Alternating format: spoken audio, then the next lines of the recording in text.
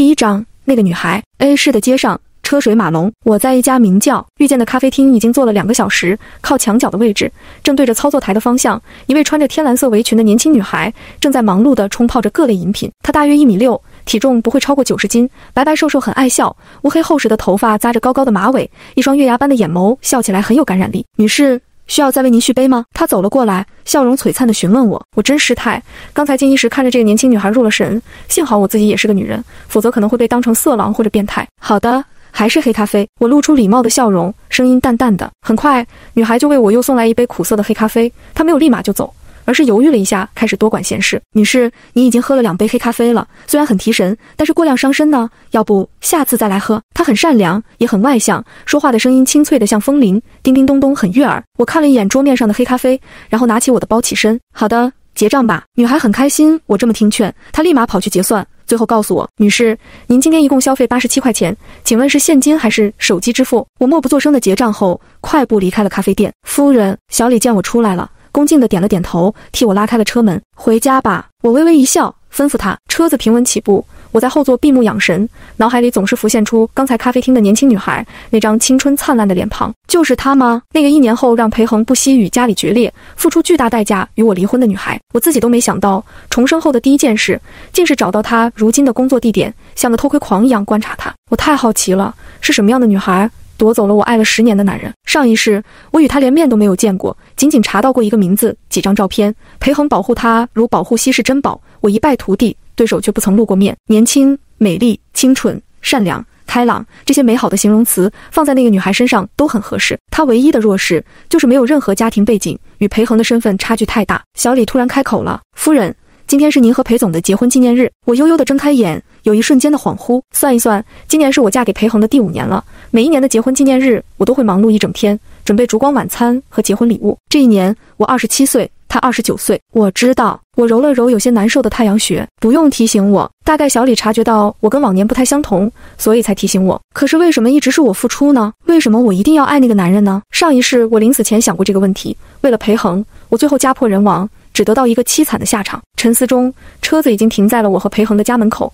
这是当年双方父母送给我们的新婚礼物，寸土寸金的庄园别墅，占地千余平，奢华大气。让我意外的是，今天裴恒的车也停在门口，他回来了。我的心情很复杂。死过一次的人，重生后见到罪魁祸首，应该摆出什么样的表情比较合适？我以为我会恨裴恒，他为了一个女人，将同床共枕五年的妻子逼到绝路一条，对曾经无比厚待他的岳父岳母也下了死手。我的娘家在他手里全军覆没。可是真的在见到他以后，我发现我竟然没那么强烈的恨，更多的是一种释然。上一世裴恒给过我机会，提出和平离婚，补偿是他会给我裴氏一部分股份，足够我挥霍一生。但是我不愿意，我用了十年时间都没有得到他一丝的爱意。另一个女人竟然只用了一年，就让他神魂颠倒，与所有人为敌。于是我用尽各种办法，想要挽回他，一步一步走到决裂，对峙，你死我活。如今这些事暂未发生。与其恨，我更想改变那个自讨苦吃的结局。站在那里干什么？裴恒坐在客厅，随意地翘着修长的腿，指尖的烟已经燃尽。他熟练地摁入烟灰缸，随后抬眸看了我一眼，眼神一如既往的平淡。结婚那天，裴恒就毫不掩饰地告诉过我们之间只是合作关系，长期室友。他对我没有一丝感觉，没什么，只是没想到你在家。我弯腰去换拖鞋，爱马仕大象灰拖鞋，简约的设计，稳重的颜色。除了穿的舒服点，似乎没有其他好看的地方。我想起了咖啡厅里穿蓝色围裙的女孩，围裙上别着一朵红色小花笑脸，其他人围裙上都没有，就她有。相比之下，我所有的衣服都是昂贵而单调的，不变的简约，不变的沉闷。我突然就很厌恶这双拖鞋，将它扔在一边，赤脚走进了客厅。裴恒看到我赤脚走过来，眉头微微皱起，眼神里闪过一丝意外。不穿鞋，嗯，不想穿就不穿了。我在他对面坐下，很平淡地答了一句：“挺稀奇。”受什么刺激了？裴恒竟然笑了一声，难得用这么轻快的语气问我：“受到你未来真命天女的刺激了？”我心想，我低头看着自己洁白的脚，因为太过清瘦，显得有点干巴巴的。魏兰不一样，她虽然瘦，却肌肤紧致有弹性，不像我纯粹是皮包骨头。五年的孤独婚姻让我的身体出了不少问题，对吃的更是毫无兴趣，于是越来越瘦，越来越像白骨精。裴恒，嗯，裴恒正在看手机。头也没抬，他穿着黑色衬衣和西裤，质感极好。修长的体型和完美的头身比，让他有一种十足的俊朗，加上流畅的脸型和精致深邃的五官，称得上是亿万少女的梦。我收回看脚的视线，凝视着对面的男人，声音有点沙哑：“我们离婚吧。”话音刚落，我就听到了裴恒的嗤笑声。他把手机往沙发上一扔，用一种熟悉而凉薄的眼神看着我，问：“许之意，你又玩什么花样？第二章，久违的聚会。我说真的，我端坐着，坦荡的迎上那双充满了压迫感的眼眸。五年了，反正你也不会爱上我，我们就放彼此一条生路吧。再过一个月，A 市将举办一次大规模商业座谈会，裴恒会在那里遇到正在兼职迎宾的魏兰，一见钟情。不惜强取豪夺，也要占有他。那么浓烈的故事，我就不在里面充当他们传奇爱情的炮灰了。我想做的、能做的、该做的，上一世已经做完了，也得到了最后的结果。这一世，我不会再把自己变成笑话，把许家推进万丈深渊。我决定在裴恒与魏兰遇见之前就抽身，在他们坎坷的情路上让出第一步。可能是我的眼神真的很认真，裴恒的脸色顿时变得阴沉难看起来。他脾气一向不好。只要有人惹他不爽了，他是绝不会留情面。哈，我裴恒现在都成了别人的玩具了吗？他笑了起来，眼底却是一片寒意。五年前非要嫁给我的人是你，现在想离婚的又是你，许之意，你玩老子呢？五年前裴家和许家关系正好，便撮合了我们两个。以裴恒的性格，不可能那么听话。转机就出在裴家爷爷病重，逼着他娶了我。这对于裴恒来说是一件非常屈辱的事情。好在他也没什么深爱的白月光，又刚好正在逐步接管家族企业，需要贤内助。就这样和我将就了五年，我有些悲哀的苦笑。难道你还想和我继续这段有名无实的婚姻吗？有名无实？裴恒似乎在细细地琢磨这四个字，随后眉头一挑，颇为讽刺地问：“哦，你是感到寂寞空虚了？没有，我只是我在斟酌用词。”裴恒却已经起身来到了我这边，他俯身，双手撑在沙发两侧，和他的怀抱连成一个圈，将我困在里面，声音有些勾人：“寂寞了怎么不联系我？还闹离婚？欲望那么强吗？”裴恒喜爱抽烟，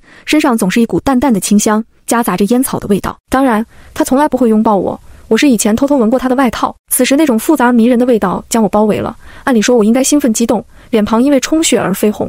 可实际上，我现在只觉得压抑。我是一个准备要走的人，出现任何让我动摇的东西，我都会觉得不吉利。我不是为了这个。我试图解释，这么多个日日夜夜，我早就习惯了寂寞，是吗？裴恒直起身子，他对我本来就没有任何兴趣。刚才那样暧昧的挑逗，也只是为了让我难堪一下。所以他不会失控。我一个二十七岁的已婚老处女，浑身散发的是怨气，而不是迷人的芳香。许之意，我知道今天是我们结婚五周年纪念日，但是我没兴趣过这些。你要是想拿这种事来和我闹离婚，我劝你别折腾。裴恒站在我面前，居高临下的看着我，声音恢复了冰冷。年年都没过的纪念日，我不需要到今年才开始折腾。我也站了起来。仰头看着裴恒，你好好考虑一下吧。现在我的利用价值应该也差不多用完了，比起我，你才更需要自由，不是吗？说完，我头也不回地上了二楼卧室，不想再多说了。楼下传来了粗暴的关门声，随后汽车的引擎声在窗外响起。我知道是裴恒离开了，但是这一次我心里很平静。这时，我的手机响了起来，是好友邓金儿打来的。意义出来嗨皮，堂哥院走起。邓金儿的大嗓门一下子冲散了我的忧郁。他和我差不多年纪，但是一直单身。结婚后，我很少出去玩。邓金儿邀请十次，我能拒绝九次，但他还是非常执着。好啊，我一口答应了下来，爽快的让手机对面都出现了漫长沉默。今天可是你和你家裴恒的结婚纪念日，你确定你要出来玩？邓静儿终于又开口了，语气满是质疑和震惊。我连着四年用结婚纪念日这个理由拒绝过邓晶儿，对，纪念日又不是忌日，我马上就来。我很确定的回答了邓晶儿。随后就挂了电话。打开我的衣橱，我看到了一片白黑灰，连蓝色都是比较少见的颜色。每一个奢侈品牌背后都有各类精彩的设计，而我这个大冤种花了大价钱买下了其中最沉闷的款式。选了十分钟，我才选出一条没那么沉闷的吊脖黑裙，丝绸的质感，大 V 领一路开疆扩土，快到了肚脐眼的位置，腰间自带松紧，勾勒出我过于纤细的腰身，洁白的手臂没有任何遮掩，背部裸露大半。我记得这件裙子还是我买来特地色诱裴恒的。结果那一个月他连家都没回。此时唯一让我觉得不满意的是胸口过于平坦，有点配不上这条裙子的风情万种。凑合着穿，以后多吃饭就好。我安慰自己。换好衣服，化完妆，我便去车库开了一辆红色的保时捷，直奔堂歌院。堂歌院是 A 市的一家夜店，名字有种狂野的文艺感。我停好车以后，进去了堂歌院，在约好的一处吧台那里找到了邓金儿他们。大学时期，我和邓金儿、欧阳田、李优并称音乐系四大才女，所有人都以为我们四个毕业后会一展宏图。结果我英年早婚，邓金儿成了夜店海王，欧阳田现在在他家公司混到了一个副经理的位置，只有李优尚在坚守本分，到处参加音乐比赛，发誓要当歌星。稀客稀客，邓金儿拿出了领导会晤的架势，从高脚椅上一跃而下，握住我的手，激动地说：“其他两人也是连连点头因为我婚后就几乎销声匿迹了。为了裴恒，我放弃了自己的社交圈。”几杯酒下肚。欧阳田感叹起来：“意义，你这次要是再不出来，我都要怀疑五年前我参加的到底是你的婚礼还是你的葬礼了。死的彻底。奇怪，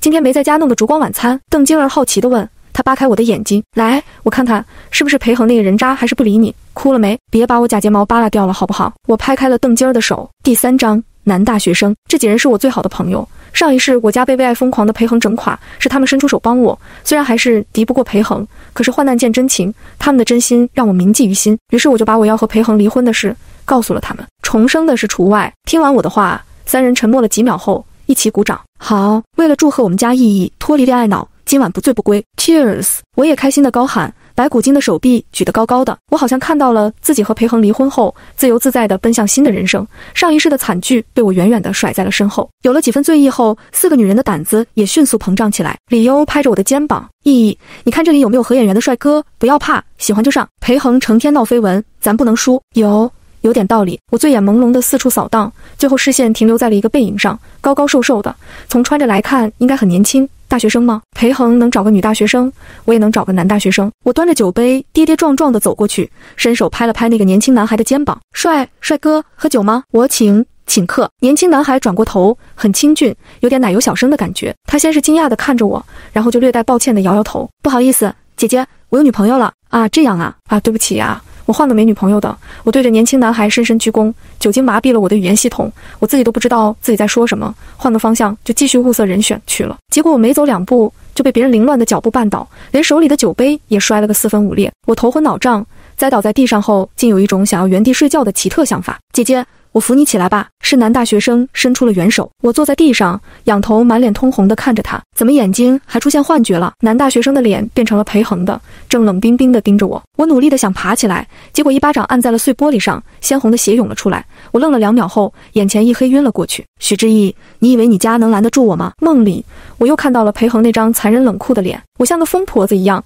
瘫坐在摔得乱七八糟的客厅里，眼泪拼命地流。得知裴恒要和我离婚的事情，我的父母联合裴家长辈们纷纷给他施压。裴恒根本不听劝，一意孤行，还付出巨大代价把许家整垮。裴家长辈们从一开始的反对他、斥责他，到后面不得已帮助他，再到后面我听说他们也接受了魏兰。他在裴恒一意孤行的袒护下，渐渐得到了裴家父母的赞同。最重要的是。那时候，魏兰已经怀孕了。裴恒，我爱了你十年，你就对我一点点感情都没有吗？我捂着脸，眼泪又从指缝流走。没有，许之意，我给过你机会，好聚好散，是你不珍惜。裴恒冷冷地告诉我，然后他的手机响了起来，是专属铃声。魏兰清脆动听的声音响起：“裴先生，请接电话。裴先生，快接电话啦！”我听着那样甜蜜的铃声，看着裴恒快速离开，感觉天旋地转，胸口也一阵阵剧痛，在窒息的痛苦中。我猛地惊醒，呼呼，我剧烈地喘着气，才发现我竟然在自己的卧室里。窗外阳光明媚，鸟语花香。男大学生怎么还把我送到我家来了？我看了一眼包扎好的手，然后捂着剧痛的太阳穴，想要搜索一下男大学生的身影，却听到了裴恒的声音在门外传来：“你们玩，今天没兴趣。”他倚在二楼的护栏上，指尖夹着香烟，声音慵懒，侧影如松。我扶着门框，看到他走了过来。问你把他藏哪里了？谁？裴恒浓眉紧皱。男大学生。我答道：难得遇到一个除了裴恒以外，我感觉不错的男人，我有点舍不得放过。反正一个月以后，裴恒就要为另一个女人开启疯狂模式，我也可以早点选一位心灵安慰天使，用来转移我的痛苦。听到我的回答，裴恒那张俊脸顿时怒气蔓延。他看了一眼我的穿着，然后一把抓住了我的手腕，把我拖进了卧室的衣帽间。妈的，给我换掉！谁准你穿这么骚的？骚！我低头看了看胸前二两肉。微弱的起伏，全靠不了全力辅助。我觉得这个字眼不适合我。况且一个不爱我的男人，你管我骚不骚？裴恒，前两天你和那个小白花女艺人开房，是真的吗？我没动，反而平静地问他：轮不到你管。他的回答一如既往。那我以后也轮不到你管。如果不离婚，那就各玩各的吧。我淡淡的说：这么多年了，我没有爱情的滋润。总得找一点荷尔蒙的滋润。原来摆烂就是这种感觉，真的很舒服。我再也不用为了裴恒而快乐悲伤，灵魂都开始回归身体了。男人都是天生的双标狗，自己能出去花天酒地，但老婆必须在家三从四德。裴恒也不例外，他不爱我，但我名义上还是他的妻子。想给我戴绿帽子了？裴恒冷笑了一声，然后十分恶劣的伸手勾开了我的黑色深 V。你觉得这种身材哪个男人喜欢？我低头一看。胸贴完整的包裹住了所有的春色，一点都没泄露出来。这可是最小号的胸贴。我拨开那只手，很冷静地整理好衣服。我以后会多吃点饭，多喝木瓜牛奶，尽量攒够资本，好让你头上的绿帽多几顶。许之意，你他妈是疯了！裴恒终于受不了了，他看着我，这两天吃错药了。以前那个许之意，沉稳大方，懂事体贴，怎么可能满嘴胡言乱语？要是我爸听到我刚才的话，可能会气出心梗。可是只有先变成疯子，才能从即将变成疯子的裴恒手里逃出来。没有魏兰的出现。他是不会和我离婚的。商业联姻从来不是可以随心所欲的过家家。他那么理智的人，权衡利弊是拿手好戏。而我又实在不想再经历一次眼睁睁看着他爱上别人的过程。那你和我离婚吧。我再度提出第四章，有意为之，别做梦了，许之意。我要你用一辈子来后悔当初嫁给我的决定。裴恒又恢复了冷漠镇定。他似乎看穿了我的目的，你想各玩各的，那就各玩各的。我错愕了，为了让我后悔嫁给他，连绿帽子都能接受，没想到被迫娶我，给他造成了如此巨大的心理阴影，需要极端报复我才能缓解。正当我脑子里暂时短路时，裴恒突然伸手勾住了我的腰身，将我的身体紧紧贴在他身上。他舔了舔唇，眼神晦暗不明。要我先替你二次发育一下吗？不要！我立马推开了裴恒。注定要分开的人，就不要再产生不必要的接触。裴恒眯了眯眼眸，眼神非常犀利地盯着我。他是个很聪明的人，应该早就看穿了这两天我的异常。他捏住了我的下巴，迫使我仰头与他对视。许之意的双胞胎姐妹吗？嗯，一个爱了他十年的女人，怎么可能突然间这么反常？我露出一个干巴巴的笑容。你猜？许之意，我们之间的婚姻没那么简单，一旦解体，涉及到的利益纠纷繁多，我没空陪你演爱恨情仇。如果实在耐不住寂寞想出去玩，他没回答我的话，只是凑近我的耳边，记得带套，野种我可不认。我一个死过一次的人。应该拥有平静如水的内心，可是不知道哪里来的冲动，我抬手狠狠甩了裴恒一个耳光，震得我掌心发麻。裴恒被我扇的脸上浮现出一座五指山，他偏着头，清晰流畅的下颚线勾勒出完美侧颜。被打都是这么帅。他缓缓扭头，眼神阴狠可怕，仿佛下一秒就能掐死我。我的手在颤抖，不是因为害怕，而是那一巴掌把我的伤口崩开了，正在流血。裴恒看了一眼我的手，转身离开，只留给我一个冷漠的背影。我看着从纱布里滴落的血，觉得挺好的。总比上一世心里流血强。从那一耳光以后，裴恒又消失了。他在娱乐八卦新闻上，在狂风浪蝶中，在夜店，在公司，就是不在家里。我算着时间，只差半个月就要到裴恒和魏兰相遇的时候了。这段时间，我总是时不时去遇见，点上一杯黑咖啡，默默注视着魏兰工作。他的一颦一笑，都深深地映入我的眼帘。我要是个男人，我也喜欢他。魏兰，你男朋友来看你了。一个同事提醒魏兰，对我记得他是有男朋友的，只是那个可怜的男友。完全不是裴恒的对手，哪怕那时候他与魏兰正爱的热烈，也抵不住全是地位化作的棍棒，打成了苦命鸳鸯。我知道魏兰的存在时，他已经与可怜前男友分了手，所以我没有调查过那位前男友。咖啡厅的门推开了，穿着白 T 恤和浅蓝色牛仔裤的年轻男孩走了进来，他戴着白色棒球帽，手里拎着一盒章鱼小丸子，干净清爽。我愣了。男大学生阿阳，你怎么来了？魏兰开心的像一只小仓鼠，迎接着前来投食的主人。我在附近发传单，就顺道过来看看你，给你带了章鱼小丸子。男大学生笑起来和魏兰一模一样，眼睛弯弯如月牙。这就是夫妻相，却被裴恒活生生拆散了，造孽呢！魏兰又高兴又心疼，来看看我就好了。你发传单那么辛苦，别浪费钱给我带吃的。努力赚钱就是为了给我家兰兰投喂零食。男大学生的情话技能不错。我想了想。裴恒从来没有给我买过零食，我也不爱吃零食。因为魏兰还在上班，所以男大学生没有久留。我坐在角落里低垂着头，生怕他在人群里多看了我一眼，发现我就是前段时间在夜店试图勾搭他的老女人。等男大学生走了，我也匆匆结账离开。夫人，小李见到我总是这一句。回家，我筋疲力尽，怎么重活一世，反而人物关系越发复杂起来呢？我揉着太阳穴，脑细胞不够用了，还没开到一百米，我又开口了，小李。我来开车吧，理由是手痒了，想炫技。我握着方向盘，眼观四路，耳听八方，终于看到了前面路口正在等红绿灯的男大学生。我瞅准时机，一脚油门冲过去，成功把他勾倒在地。对不起，对不起！我吓得赶紧下车，想要去搀扶他，只见他的腿上鲜血淋漓，伤得不轻。姐姐，男大学生忍着痛，有些惊讶地喊了我一句：“怪不得都喜欢大学生，大学生嘴甜。”我吩咐小李，快把他送医院去。男大学生名叫齐周阳，在校大学生。二十一岁，我坐在医院的长椅上，看着手机里刚保存的齐周阳的联系号码，心里有一丝悲凉。我终究不够大气，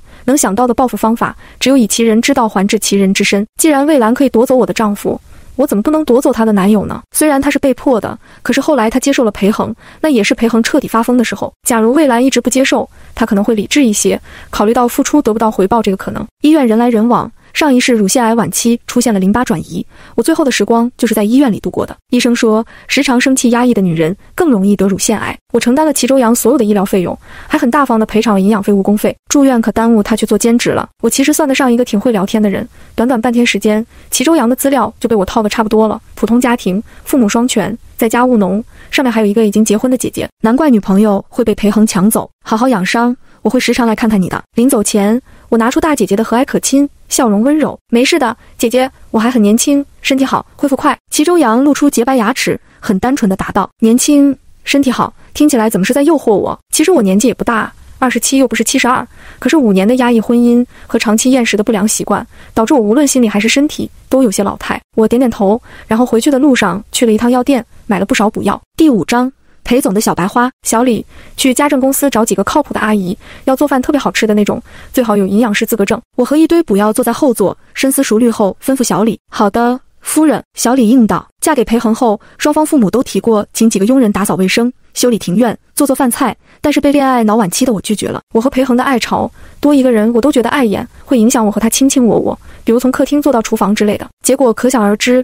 我过得似寡非寡，既然都重生了，就不要再做这种脑子不清白的梦。回到家，我拎着普拉达手提包走在前面，小李抱着一堆补药包跟在后面。一打开门，裴恒刚从楼上下来，一边下楼一边整理袖口，随意的动作最迷人。小李。你可以走了，我放下手提包，吩咐小李。小李把补药摆在了桌子上，然后对裴恒恭敬地弯了弯腰，才匆匆离去。一个小时后有个酒会，你爸妈也会参加，你准备一下，和我一起去。裴恒丝毫没在意我带回来一堆什么东西，只是寡淡地通知我，他从不愿意带我出席任何场合，除非那个场合我有用。比如我爸妈要参加重生后，我还没回去看过我爸妈，不是因为不孝，而是经过上一世发生的事情，我至今愧对他们，有点不敢见他们。哦，好，我起身去二楼。这半个月我一点都没有闲着，重新购入了一批衣服，无论风格还是版型，都和之前的单调沉闷截然不同。我选了一条小红裙，一字肩，胸口是比较开放的立领设计，但是有一层薄纱缝制，若隐若现。下身裙摆式鱼尾，露出一双纤细笔直的小腿。虽然我瘦得过分。可是架不住我足够白，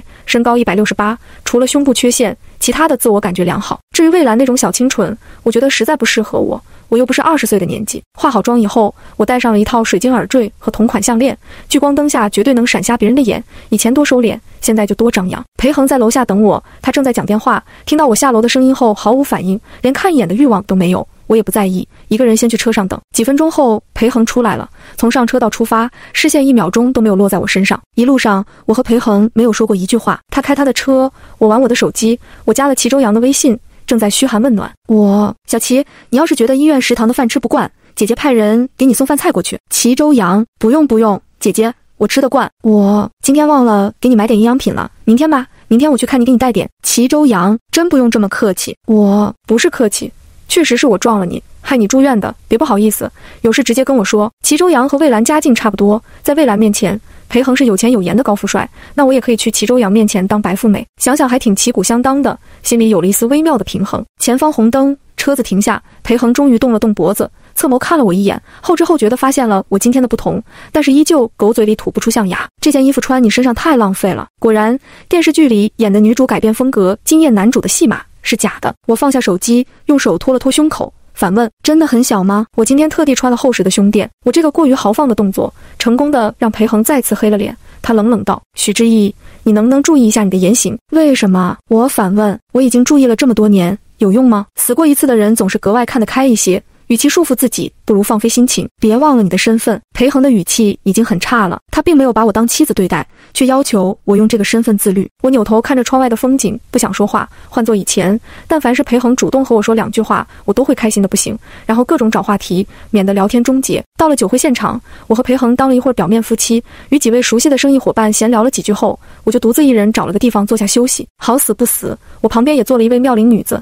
仔细一看，这不是前不久和裴恒开房上热搜的那位小白花青青？你怎么一个人在这里坐着？又有一个女人走了过来，冲小白花潘青青问：“我在这休息一下，小鹿，你也来陪我坐一会儿。”潘青青声音甜美极了。我发现裴恒好像很喜欢声音好听的女人，魏兰如此，他以往闹过绯闻的对象个个如此。两人在我旁边开始聊天，似乎没人注意我。陈小璐一直拿潘青青打趣：“你家裴总在那里，你也不去打个招呼？你别胡说什么，我家裴总。”他有老婆的，潘青青嗔怪地答道：“他那老婆几百年没见过一次，形同虚设，好不好？谁不知道你最近和他走得最近？我听说他给你买房了。”陈小璐满满的羡慕嫉妒。嗯，他对我挺大方的。潘青青话里话外都带着炫耀，我都不知道他为什么对我这么好。遇到他，我还挺幸运的。裴恒对谁都大方，除了我这个形同虚设的妻子。每一个跟他闹过绯闻的女人，和他分手后都对他赞誉有加，这就是金钱的魅力。这时，我父母走了过来，见我一个人坐在这里，便问：“意义。”裴恒呢？怎么没陪着你？听到裴恒的名字，潘青青和陈小璐立马扭头看着我，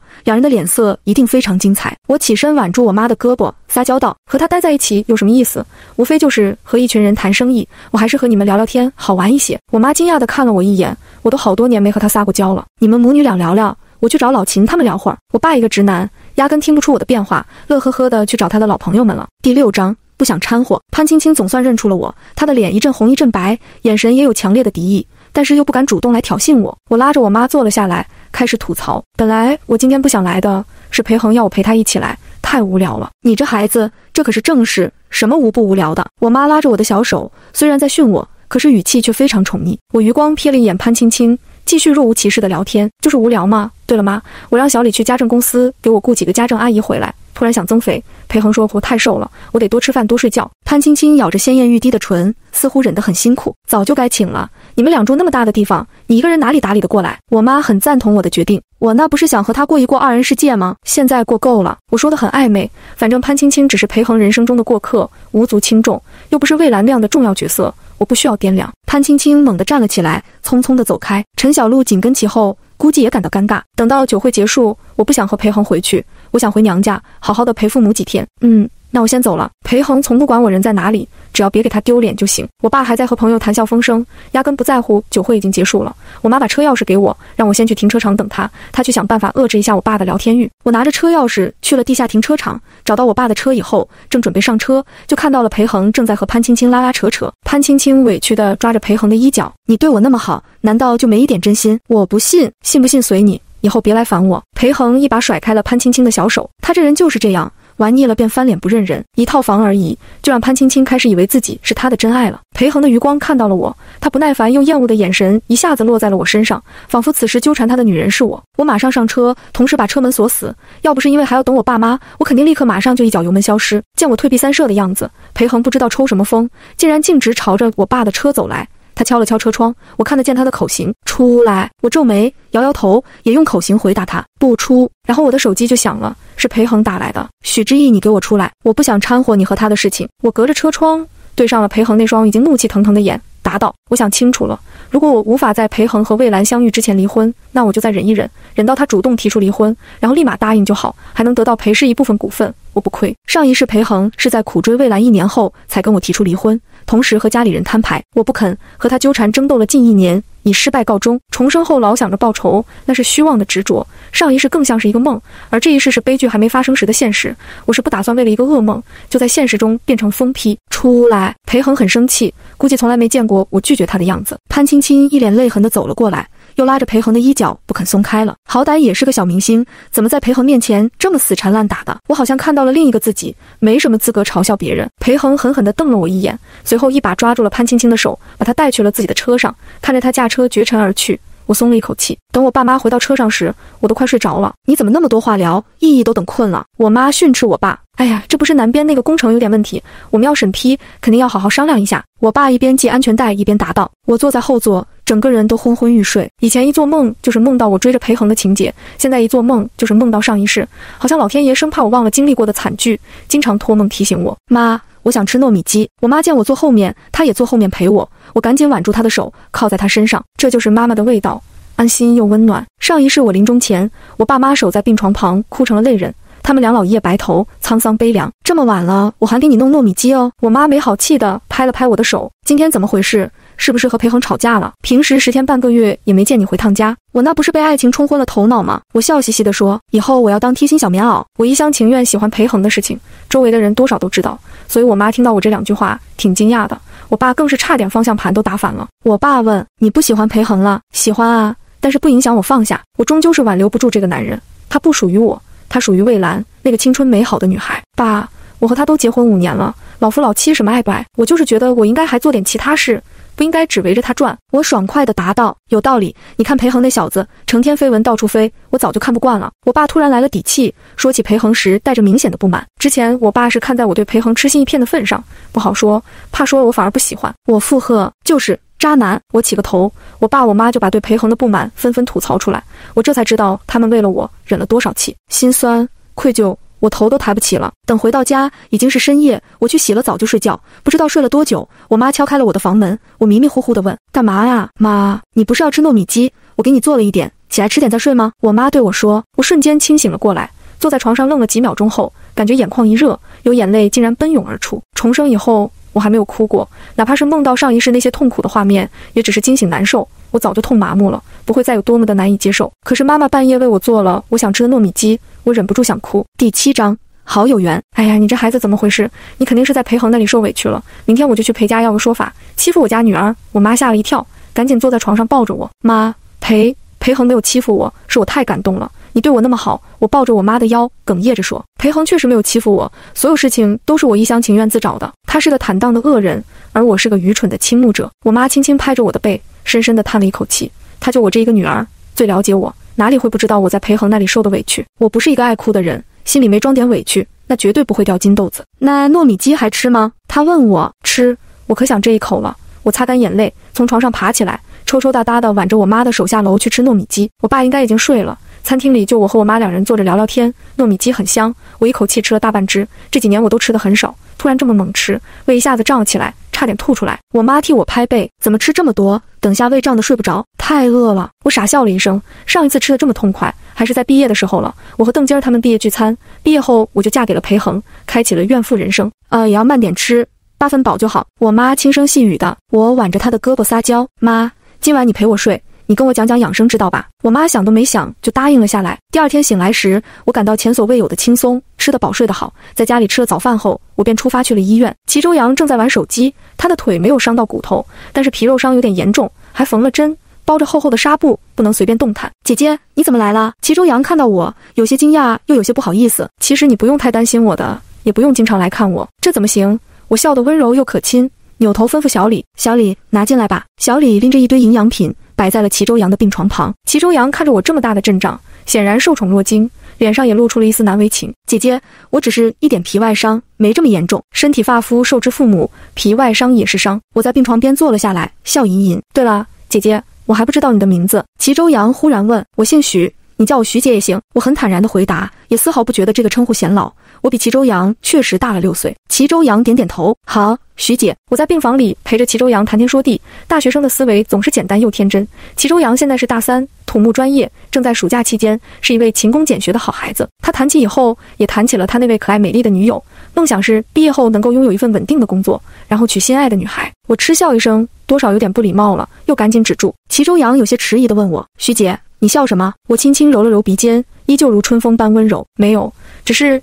看到你就想起了我的大学时代，也是有过如此美好憧憬的时光。徐姐是哪个大学毕业的？齐周阳好奇地问。我深深地看了他一眼。哎，大。说起来，我和裴恒算得上魏兰和齐周阳的学姐学长。齐周阳果然惊喜地说：“徐姐，我们是同一所大学，你是我的学姐。”我也故作开心。是啊，好巧是不是？A 是好几所大学，A 大是全国排名前三的大学，能考进这里的人，就算家世不如何，起码脑子是很好使的。毕业后前途似锦，没有大富大贵。也能奔小康。假如魏兰没有遇到裴恒，那齐周阳的梦想十有八九真能实现。于是我和齐周阳又围绕 A 大畅聊起来。他很健谈，我也不差，两人谈笑风生间，有人走了进来，声音清脆悦耳：“安阳，我来看你啦。”听到这句话，我耳边又回响起了上一世裴恒的专属手机铃声，一模一样的声音，一模一样的语气。我扭头，魏兰穿着一身洁白的雪纺裙，乌黑的头发披散下来，发梢自然的翘卷，清纯之中添了几分女人味，娇俏美丽。皮囊的美，我并不嫉妒。可是正值二十的大好年华，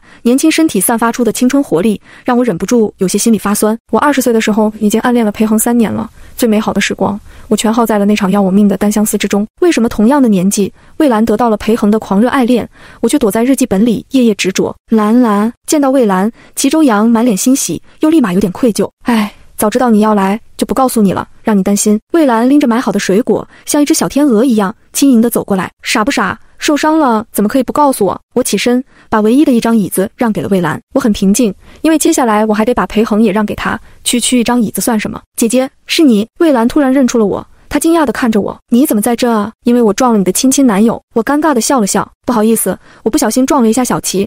今天过来看看他好点没？魏兰看看我，又看看齐周阳，竟然没有怪我，也没有怪齐周阳，而是笑了起来。好有缘分。阿阳，这位姐姐这段时间经常在我们店里喝咖啡呢，她人很好的，应该是不小心碰到了你。她的善解人意让我无言以对，换做别人可能真的不是故意的，但我不一样，我当时还看准了时机才撞。我知道啦，徐姐她肯定不是故意的，还多赔了我钱，我都不好意思了。齐周阳有些不好意思的挠挠头，那不行，赔该赔的就行了。魏兰立马拿出手机，徐姐，麻烦你给个收款码，我把多的钱退给你。大概就是这种不卑不亢、视金钱如粪土的性格，吸引了裴恒吧。身上没有一点铜锈味的女孩，眼里全是清澈，我服了。每次都能把我一身的大牌衣服衬出一种不值的感觉。第八章，寂寞可联系，没有什么该赔的范围。小齐的腿以后肯定会留疤，这是他该拿的。你们聊吧，我还有事先走了。我说完这些，转身就走。小情侣无忧无虑，你侬我侬的时光不多了，也就看看半个月吧。半个月后，裴恒将会强势登场，魏兰就是他的猎物。齐周阳再也没机会这么幸福的和魏兰聊天说笑。这么一想，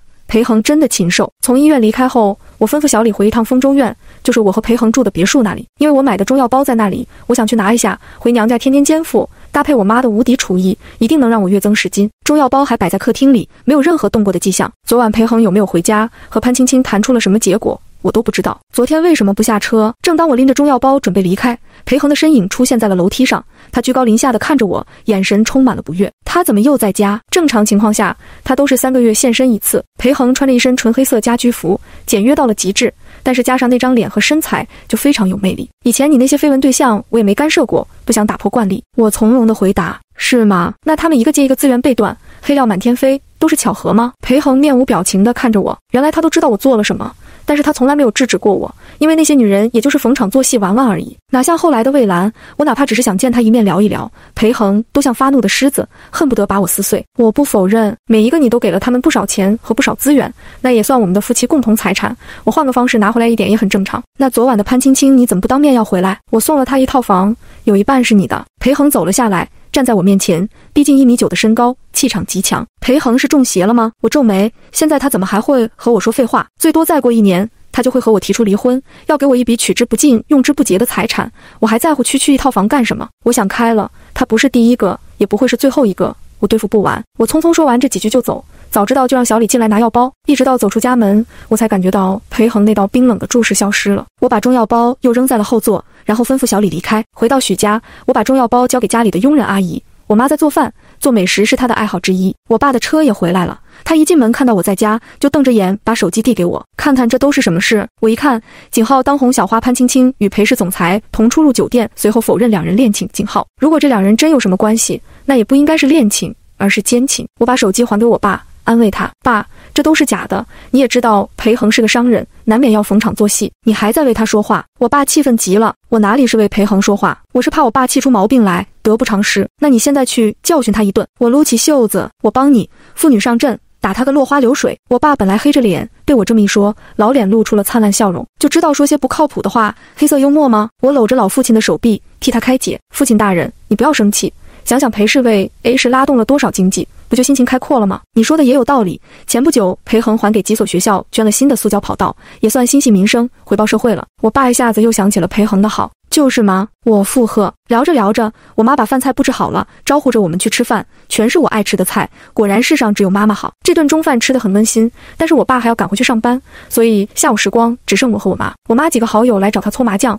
四个女人坐一桌，一边闲聊一边玩牌。我则是躺在沙发上，点开了裴恒和潘青青的那条新闻。潘青青解释说，她和裴恒只是好友，因为近期裴恒准备投资一部戏，让她当女主，所以来往频繁一点，主要是商量拍戏的事。看来裴恒又出了一点血，他在这方。面确实很大方，这也是最简单有效的方法。不知不觉，我在沙发上睡着了，直到邓金儿的电话打过来，我才惊醒。一看时间，不用想，自然又是约我夜探酒吧。依依，快来喝酒，有帅哥！邓金儿在手机那头开心的大喊：“多帅？”我问：“反正就是帅的惊天地泣鬼神、天崩地裂、海枯石烂那种。”你快点过来，甜甜已经来了。悠悠这两天在外地弄了个小商演，来不了。邓金儿夸张地形容了一番。自从知道我要和裴恒离婚以后，这几人就是轮番约我。不是吃饭就是 K 歌，要么逛街买买买，从不闲着。我知道他们是怕我表面风平浪静，心里却伤心难过，所以想要转移我的注意力。我也确实需要这样的帮助，不然我又会忍不住去想上一世的事。我换了衣服，马上来。我挂了电话，邓晶儿已经把地址发了过来。半个小时后，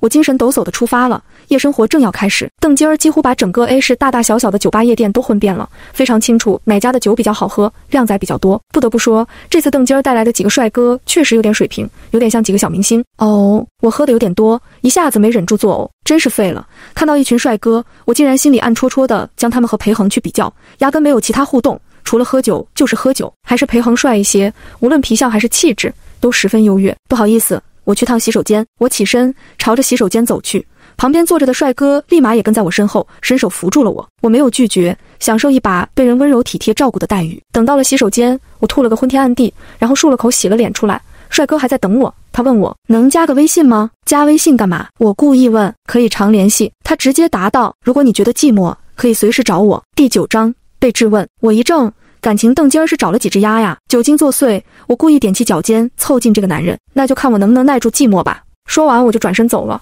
我对这类男人其实兴趣不大，尤其是一看就心怀鬼胎的，更不喜欢了。邓金儿就在我身后不远，不知道在干什么。见我走过来，他一溜烟的跑回位置上。我酒量不行，我要回去睡了。我捂着头，真有点昏沉沉，醉得太厉害的话，回去会被我妈骂。我也要回去了，明天还要上班。哎，欧阳田也起身。听得出他不怎么热爱工作。邓金儿小嘴一撅，才几点啊？你们都走了，我一个人也不好玩。走吧，走吧。他去结了账，和那几个帅哥打了个招呼，我们三人便离开了。我们一人叫了一个司机过来。分别前，邓金儿笑得像个贼似的。咦，你说你出来和帅哥喝酒，你家裴恒会不会吃醋？别提他。不吉利，我已经坐在了车里，冲邓金儿摆手，嘻嘻，拜拜。他不知道乐呵什么，开开心心地坐上他的宝马离开。我吩咐小李开车，然后就在后座闭目养神。快到家门口时，一个急刹车直接把我给撞清醒了过来，我吓了一跳。小李，你搞什么？夫人，好像是裴总的车。小李指了指横在路上的布加迪。裴恒怎么出现在我家的必经之路上？我揉了揉太阳穴，行了。小李，你开我的车先回家吧，也很晚了。好的，小李车技不错，麻溜的就掉头离开。这里离我家走路就五分钟。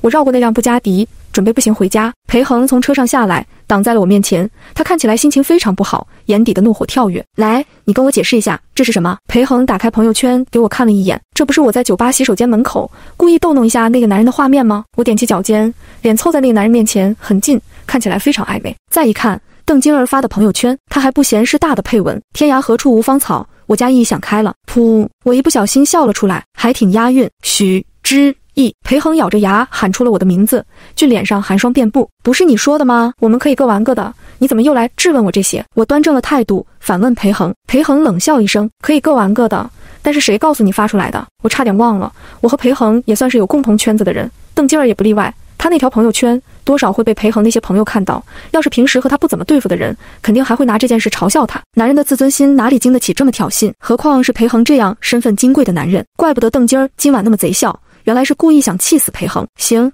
下次我告诉金儿他们别发出来。我头是真的有点晕，不想在这里和裴恒争执，只想回去抱头大睡。说完，我扭头就走。手却被裴恒一把抓住，我感觉我的骨头都快被捏断了，没有足够的脂肪替我保驾护航，我发出了一声难受的叫声，痛。随后就迅速低头，一口咬在了裴恒的小臂上。裴恒应该是被我如此出格的反应惊到了，竟然没有立马甩开我。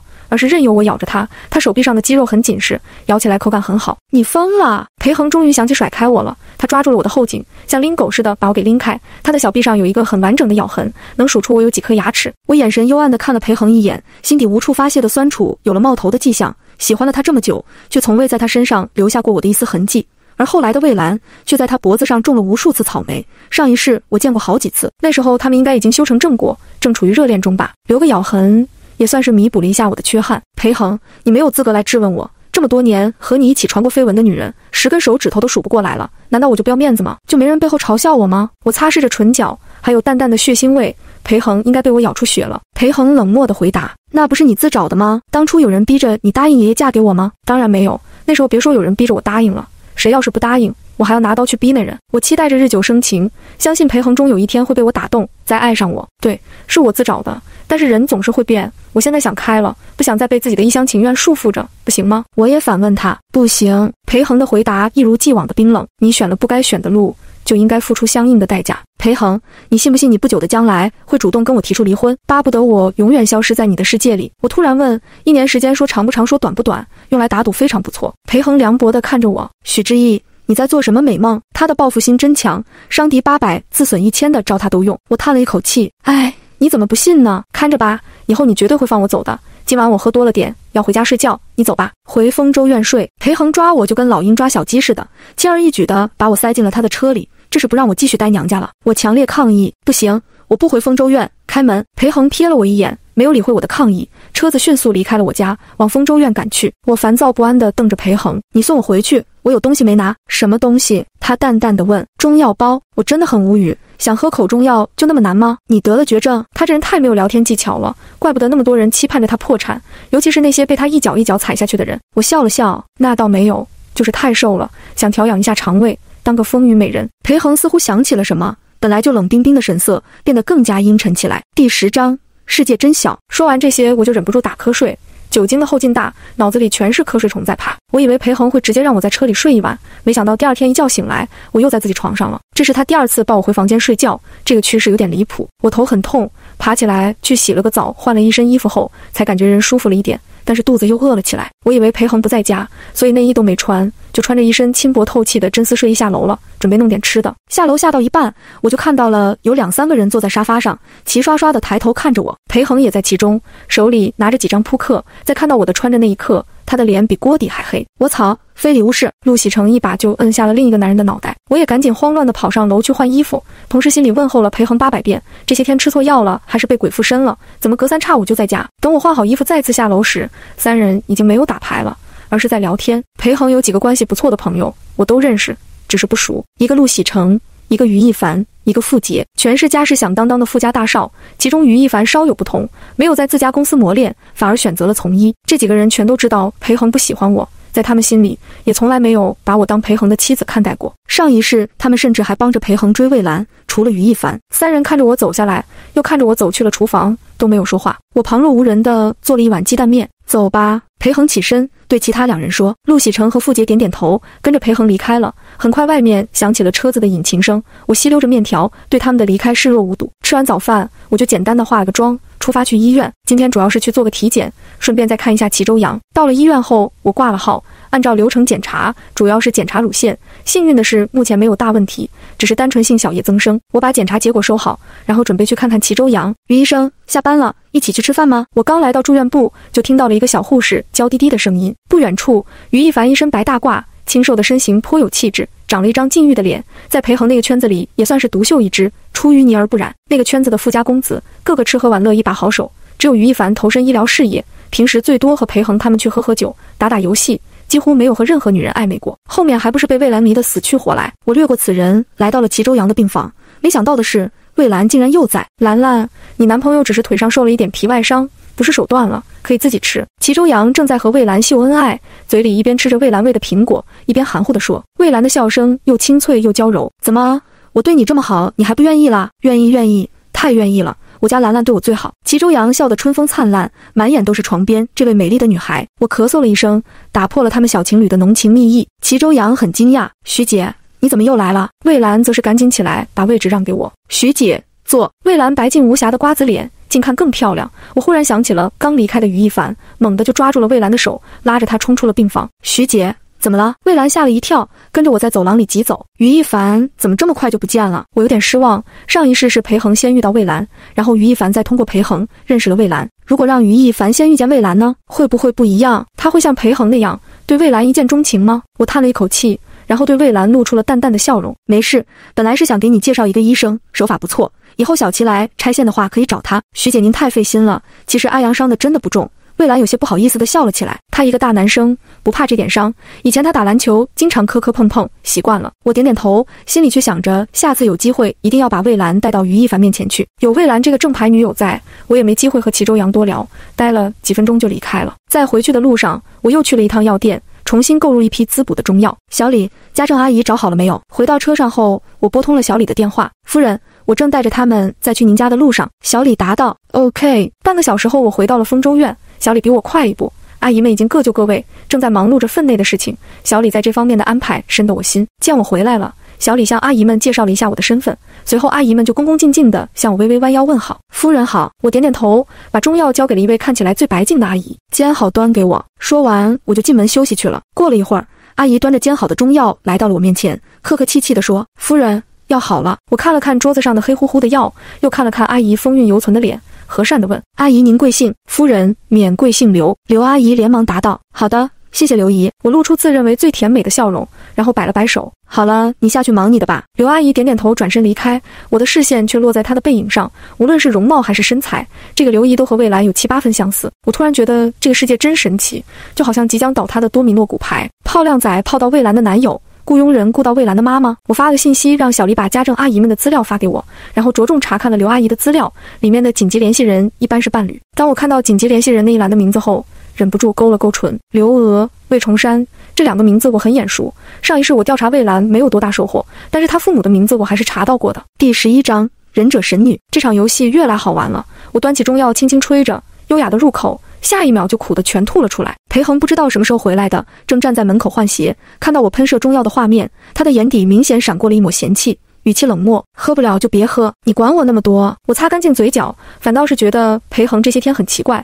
反问你怎么又回来了？他扯开领带，简单粗暴的动作却很帅。这也是我的家，我回来有问题吗？裴恒在我对面坐下，面无表情地回答我：哦，对。我点点头，继续低头喝中药，但是实在太苦了，我喝惯了不加糖的黑咖啡，都适应不了这种苦。药水还没滑进喉咙里，就再度吐了出来。这次射程偏远，一部分直接溅到了裴恒的脸和衬衫上，他的脸色瞬间沉了下来，冷冷地盯着我。我苦得说不出话。看到裴恒逆天睫毛间挂着的水滴后，便抽了一张纸按在了他的脸上，这是我最后的礼貌。裴恒一把抓住我的手甩开，我被他厌恶的眼神惊得愣了一下，心中熟悉的苦涩瞬间蔓延。不好意思，药太苦。我保持着平静，将手中的纸扔在地上。裴恒没有回答我。只是起身去楼上换衣服了。这时，刘娥走了进来，她手脚利落地清扫脏兮兮的现场。她比其他人更勤快一些，也更细心。刘姨，去做饭吧。等刘娥打扫完卫生，我有些疲惫地开口了。刘娥点点头，去厨房里忙碌了起来。我捏着鼻子，把剩下的中药喝完。我的身体光靠多吃点饭是没用的，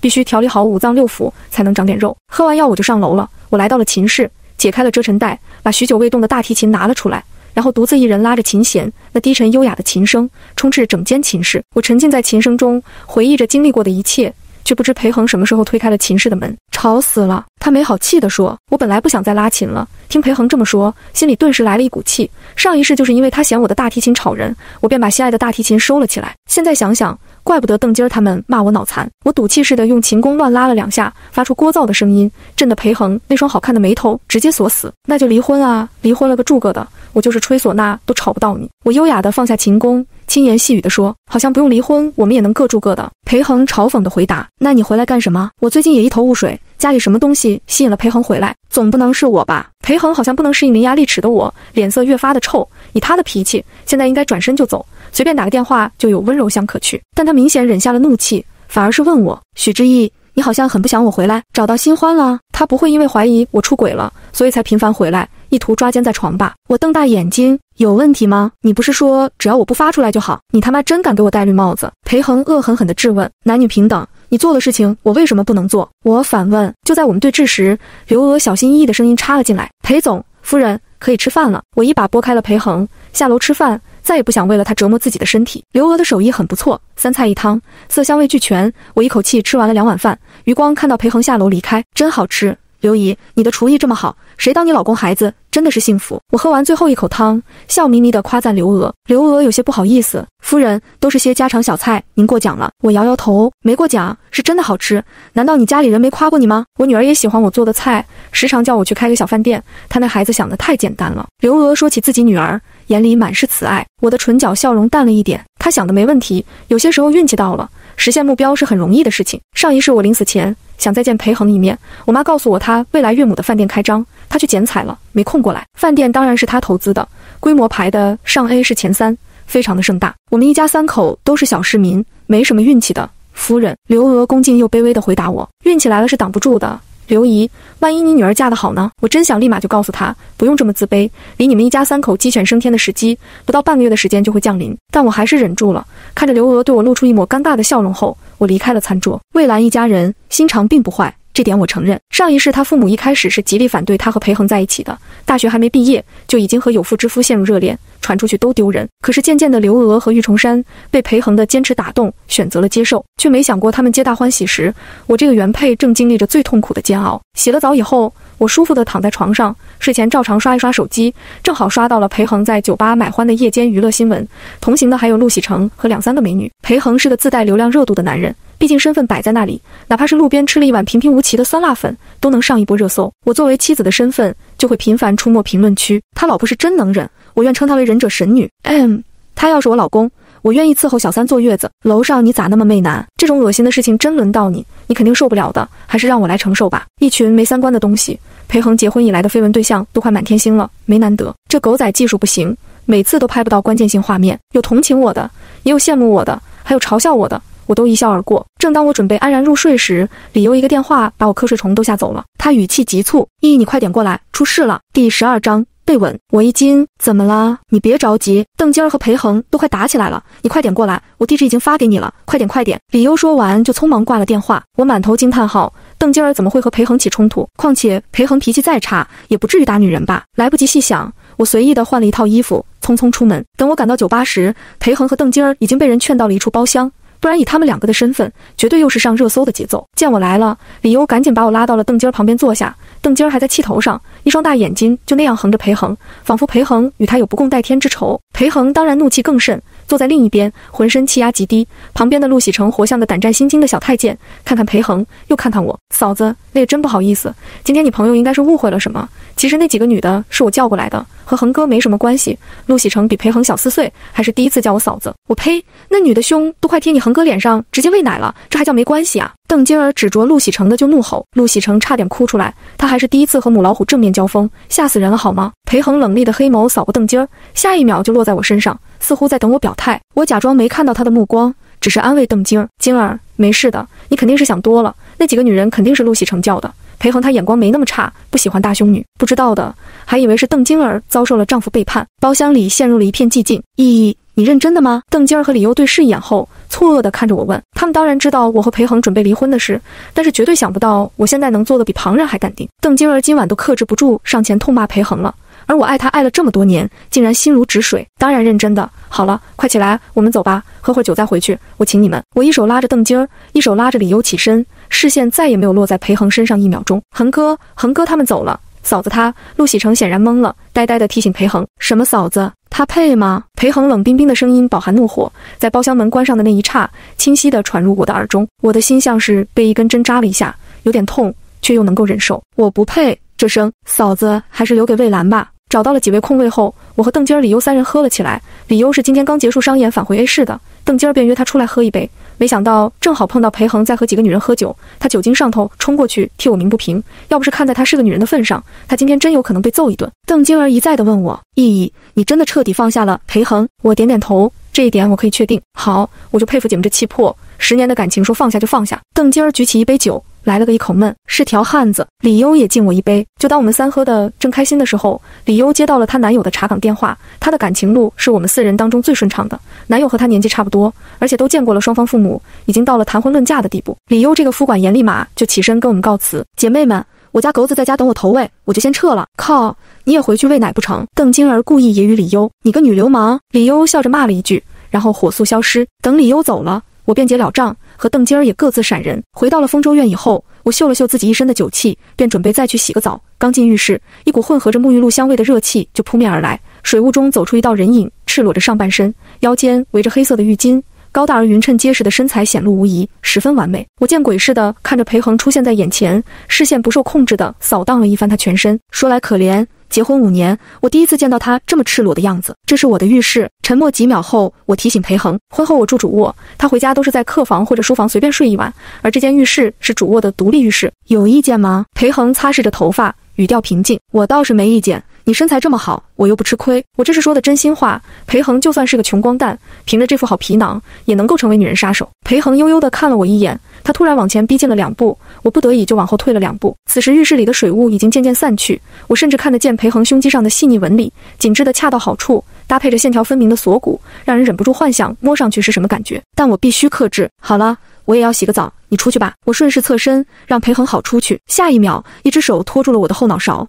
整个身体也被一股力量带着踮起脚尖，裴恒眼睛都没眨一下，低头就吻上我的唇，淡淡的薄荷香从唇间渡进我的口腔。因为太过震惊，那一瞬间我愣住了，没有任何动作。见我没反应，裴恒加深了这个吻，他的吻技毋庸置疑，我则是新手小白，几乎是任由他主控整个节奏。男人的体温总是火热一些，加上我现在透不过气，很快就热得一身汗。浴室里暧昧的氛围越发的浓烈。我本来想推开裴恒，但是他反过来抓住了我的双手，举过了头顶，这个姿势就更加贴身了。要不就从了上一世的夙愿，这一世完成一下也不亏。反正裴恒遇到魏兰之前也没闲过，和我这个正牌妻子睡一觉，合情又合理。心意一动，我也就闭上了眼睛。尝试着配合，某种不应该有的感觉正在蠢蠢欲动。就在一切都快失控的时候，裴恒却突然停了下来。他松开了我，眼底的情欲就像潮水涨落，全部退去。第十三章抓包。我茫然地看着他，他冷笑一声，原来是装的。什么？我不解，不是不爱我了吗？裴恒伸手，指腹恶劣地揉了揉我的唇角，眉头微挑，看来只是在朋友们面前演戏。许之意，你现在换欲擒故纵的伎俩了。原来他是在试探我，还用这种羞耻的方法。我的理智迅速回归，立马把已经脱了一半的衣服穿好，努力保持镇定。你有必要吗？我仰头看着他，心中一阵悲凉可笑。裴恒，我不会跟你玩什么欲擒故纵。你现在只是一下子不适应我的冷淡，就好像一条忠心的狗突然不跟在你屁股后面摇尾巴了。你当然会有些不高兴，但是时间久了都会习惯的。你是狗吗？裴恒玩味地问，似乎对我的悲凉毫无反应。你不是知道吗？我抓着凌乱的衣领。低下头，淡淡的回答：“裴恒又不是什么纯情小男生，怎么会不知道我心中对他的喜欢？况且我曾经还告白过很多次，只是他从来不当一回事。喜欢他的女人那么多，我和那些女人唯一不同的，就是我碰巧有机会嫁给他。”裴恒嗤笑一声，好像得到了自己满意的结果，突然心情大好：“去洗澡吧。”说完。他便离开了浴室，我快速地关上了浴室的门，然后冲到了镜子面前。当我看到自己一脸潮红的时候，恨不得一耳光抽死自己，怎么这么不争气？裴恒就这样逗弄一下而已，我却险些沉沦。我用了三分钟的时间回想过去种种，终于彻底的平静了下来，然后快速洗了个澡回房间睡觉。裴恒已经离开了，我听到了楼下传来引擎声。我站在窗口看着他的车消失在夜幕中，心里有些烦躁。裴恒这段时间应该不会再回来了。今晚的事情能让他确定我还在他的手掌心，他可以继续肆无忌惮地挥霍我的感情。为了快速得到心理上平衡，我一觉醒来后便让小李送我去医院。我还特地换了一件成熟的香槟色连体包臀裙，走的优雅性感风。蔚蓝那样的清纯可爱我学不来，况且齐州阳肯定也看多了，我没必要去比。到了医院后，我将一束花摆在了齐周阳床边，嗓音拿捏的温柔动人。小齐，腿好点了吗？齐周阳正在打游戏，见我来了，赶紧放下手机。徐姐。好多了，医生说明天就可以出院，过一周左右来拆线就好。那就好。我坐在床边，轻轻捋了捋耳畔的碎发。你女朋友今天没来看你，她还要上班呢。我们两个都是勤工俭学，尽量给家里减轻负担。齐周阳笑起来挺好看的，大男孩特有的阳光开朗。我点点头，随意的和齐周阳聊着天。聊了一会儿，我拿出手机看了看，惊呼：我手机怎么这么快就没电了？徐姐。我这有充电器。齐周阳指了指床头的柜子，我打开抽屉，拿出充电器，插座则是在床头上方对面一点。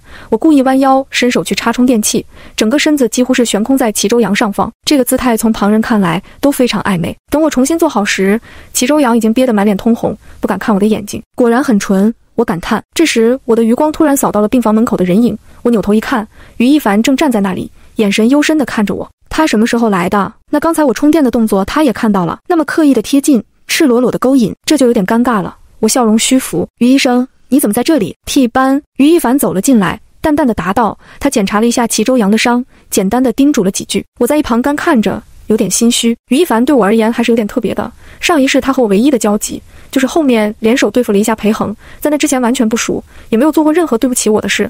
最后甚至还替我寻医问药过。你出来一下。他看了我一眼。哦，我无奈的起身。于一凡把我带到了他的办公室，其他医生都不在。就他坐在位置上，一边翻看病人们的病历，一边头也不抬地问我：“最近和裴恒怎么样？”他乌黑的头发发质很好，三七分。透过漂亮的发际线，我看到了高挺的鼻尖。我囫囵地回答了一句：“老样子。”婚姻都是这样，所以才有人追求刺激，但是往往会付出巨大代价。于一凡的声音就跟他的人一样，又平和又有点疏离。我皱眉：“你怎么不去劝裴恒？”劝过，不听。于一凡合上了病历本。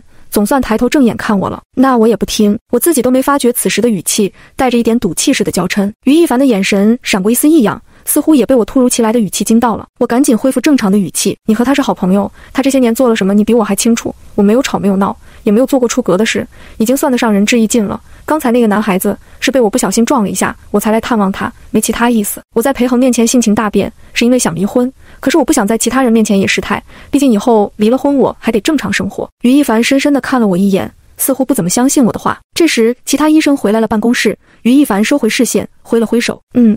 他明天就可以出院了，没什么事了。怎么和这个人聊天比裴恒还压抑？面对裴恒，我是破罐子破摔，最差就是离婚。我等的也是离婚。但是面对于一凡，我有一种被人抓包的感觉，好像做了什么见不得人的事情被发现了。离开了于一凡的办公室以后，我本来还想去齐周阳的病房里嘘寒问暖一番，巩固一下刚才的成熟诱惑，但是我却停下脚步，又快速返回了于一凡的办公室。于医生，我在于一凡面前坐下。压低声音，一起吃个饭吧。关于我和裴恒的事情，我确实最近有些心结，想和你聊聊。想聊才怪。我心里想的是，让于一凡早一点见到魏兰，让他比裴恒抢占先机。第十四章，劝他离婚。于一凡略微惊讶地看着我，我和他别说吃饭了，以前见面甚至招呼都不打，彼此眼神一过就行了。但是事关他好兄弟的婚姻，他也知道裴家和许家的关系重大，所以思索了一下后，还是答应了。好，就今晚吧。我今晚有空，好啊！我知道一家咖啡厅，里面的咖啡非常好喝，位置又比较舒适幽静，适合聊天。来，加个微信，我发定位给你吧。我热情地拿出手机，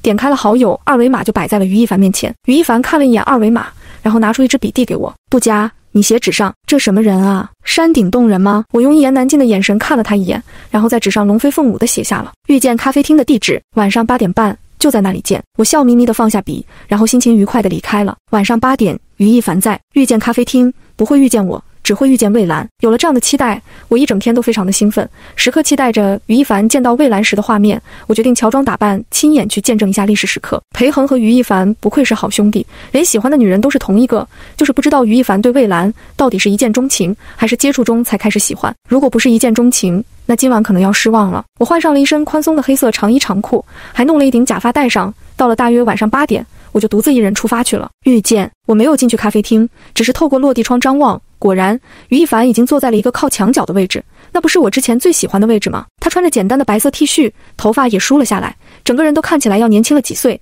气质清冷疏离，静静地坐在那里喝着咖啡，连手机都没玩。魏兰呢？我又望向了操作台，想要搜索一下她的身影。找了好一会儿，我也没有发现魏兰的身影。倒是我这猥琐的举动引起了于一凡的注意，他看到我以后起身就走了出来。我想跑，又觉得不妥。许之意，你瞎了？于一凡见到我就是颇有素质的问候。你好歹是个医生，讲话能不能有点素质？我有些纳闷的一把摘下了假发，说实在的，很热。你约我来谈事，却戴着假发不进去，什么意思？于一凡皱着眉头问我。我理直气壮的回答：我这不是来了吗？确认一下你在不在里面而已。于一凡没有和我废话，推开咖啡厅的门，命令我进去。我拎着假发，不情不愿地走了进去。经过操作台的时候，我又仔细地查看了一遍。真的没有魏兰的身影。我问另一个女孩：“魏兰呢？她今天休息呢？”女孩回答道：“我的脸顿时就垮了，满心的期待也化作了虚无。悻悻地跟着于一凡坐了下来以后，按照老习惯点了一杯黑咖啡，默不作声地喝着。于一凡盯着我，不是要和我谈谈你和裴恒的事情？我耸耸肩，又不想谈了。这样，我请你喝杯咖啡，你早点回去休息。话音刚落，我就感觉到了于一凡身上散发出来的冷气，他的眼神很锐利，和裴恒有的一拼。你耍我？他冷声问。我没有啊。我只是突然觉得我和裴恒之间没什么好说的。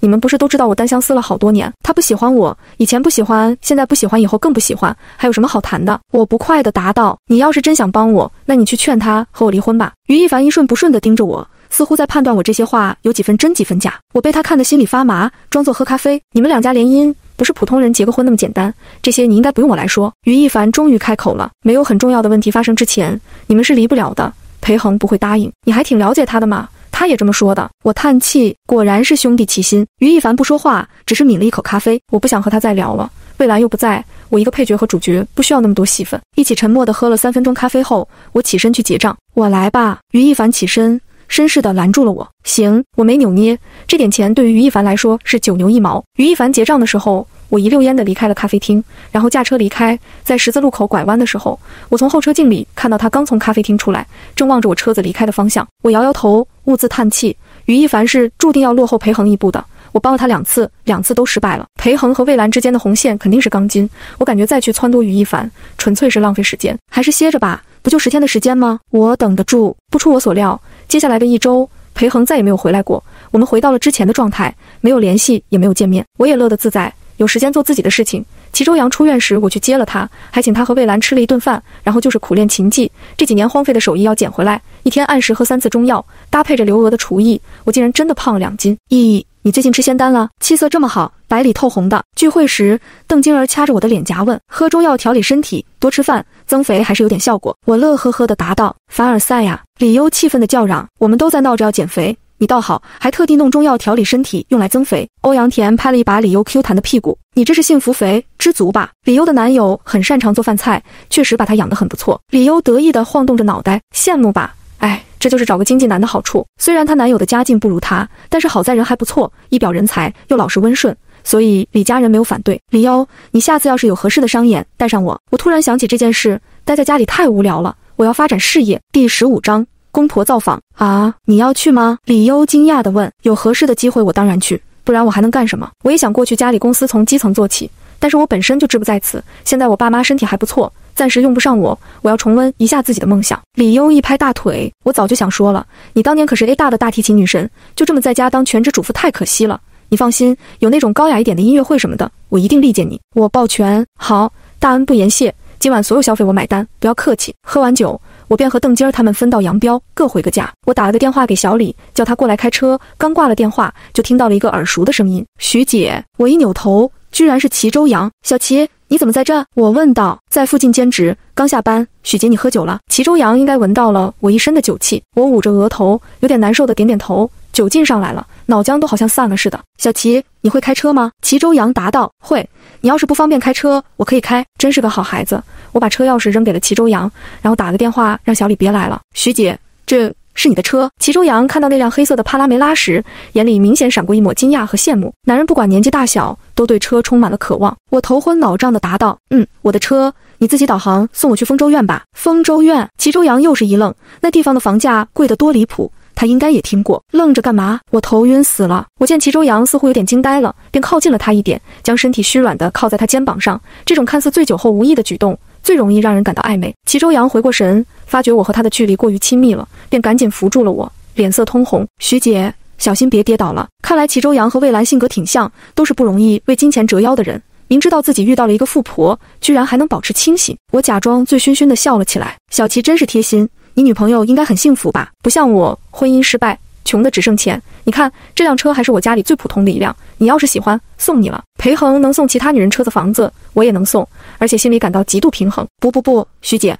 你喝多了，我送你回去。齐周阳赶紧摇摇头，然后扶着我上车。齐周阳开车很谨慎，很慢，应该是怕不小心把车子剐蹭了，赔不起。我在副驾驶假寐，偶尔睁开眼睛看看到哪了。过了一会儿，齐周阳开口了：“徐姐，到丰州院了，你是哪一栋？A 零八栋。”我闭着眼睛答道。齐周阳又在导航里输入了具体楼栋号，这才把我送到了家门口。停好车以后，我从钱包里拿出了一叠钱，递给了齐周阳，收着，给你的代驾费和小费。齐周阳懵了，随后又赶紧把钱还给我。徐姐，不用给我钱，我只是帮你一个小忙，不是交易，收着吧。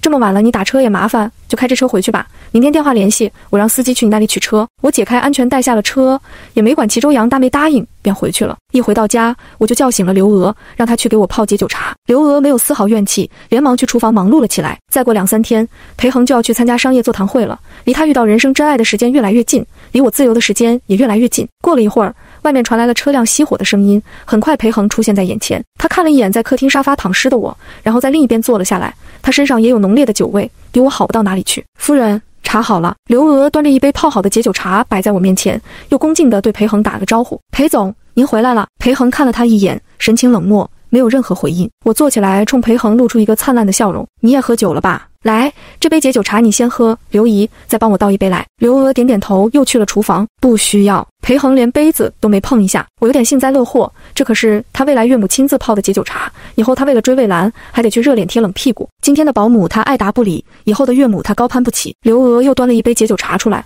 我悠悠地对裴恒说：“刘姨睡着后被我叫起来泡的解酒茶，你不喝一口也太对不起人家的辛苦了。”刘娥连忙答道：“裴总夫人，这是我应该做的，不辛苦。他这人没素质。”脾气太差了，刘姨，你别介意。我柔声细语，实际上就是在刘娥面前贬低裴恒。他不是爱魏兰，爱得死去活来吗？我为他以后的追求道路增加点难度。不不不，夫人言重了。刘娥已经有点慌了。好了，刘姨，你去休息吧。我挥了挥手。刘娥离开后，我喝了半杯解酒茶，然后就上楼洗澡去了。裴恒则是照例去了客房休息。正当我洗完澡出来时，却发现裴恒坐在主卧的床上，还穿着一身睡衣。我皱眉：“你怎么在我房间？”裴恒也一样的神情不耐：“我爸妈来了，今晚他们住客房。”我感到震惊且不解。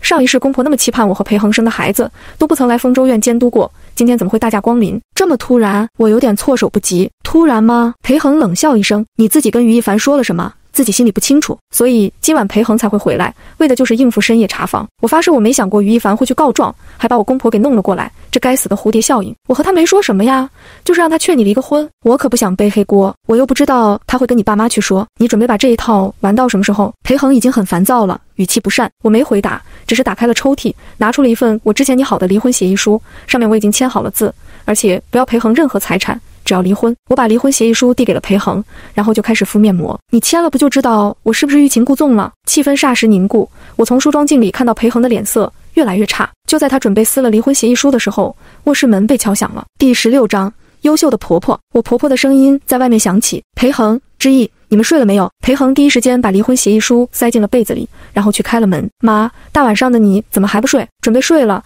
就是看到你们卧室的灯还亮着。想看看你们睡了没有？我婆婆在门口和裴恒说话。妈，我揭下面膜，也去了门口，和裴恒演一出夫唱妇随的戏。我和裴恒正准备睡觉呢，说着我还挽住了裴恒的胳膊，甜蜜地依偎在他的肩头。裴恒不动声色地看了我一眼，没有说话。确实很晚了，你爸后天要去参加高峰商业座谈会，临时赶来 A 市，也没打算去酒店了，就住你们这几天。我婆婆笑着对我说：“我公婆平时都在 C 市，但两边相隔不远。”我露出开心的神情，那太好了，都好久没见到您和爸了。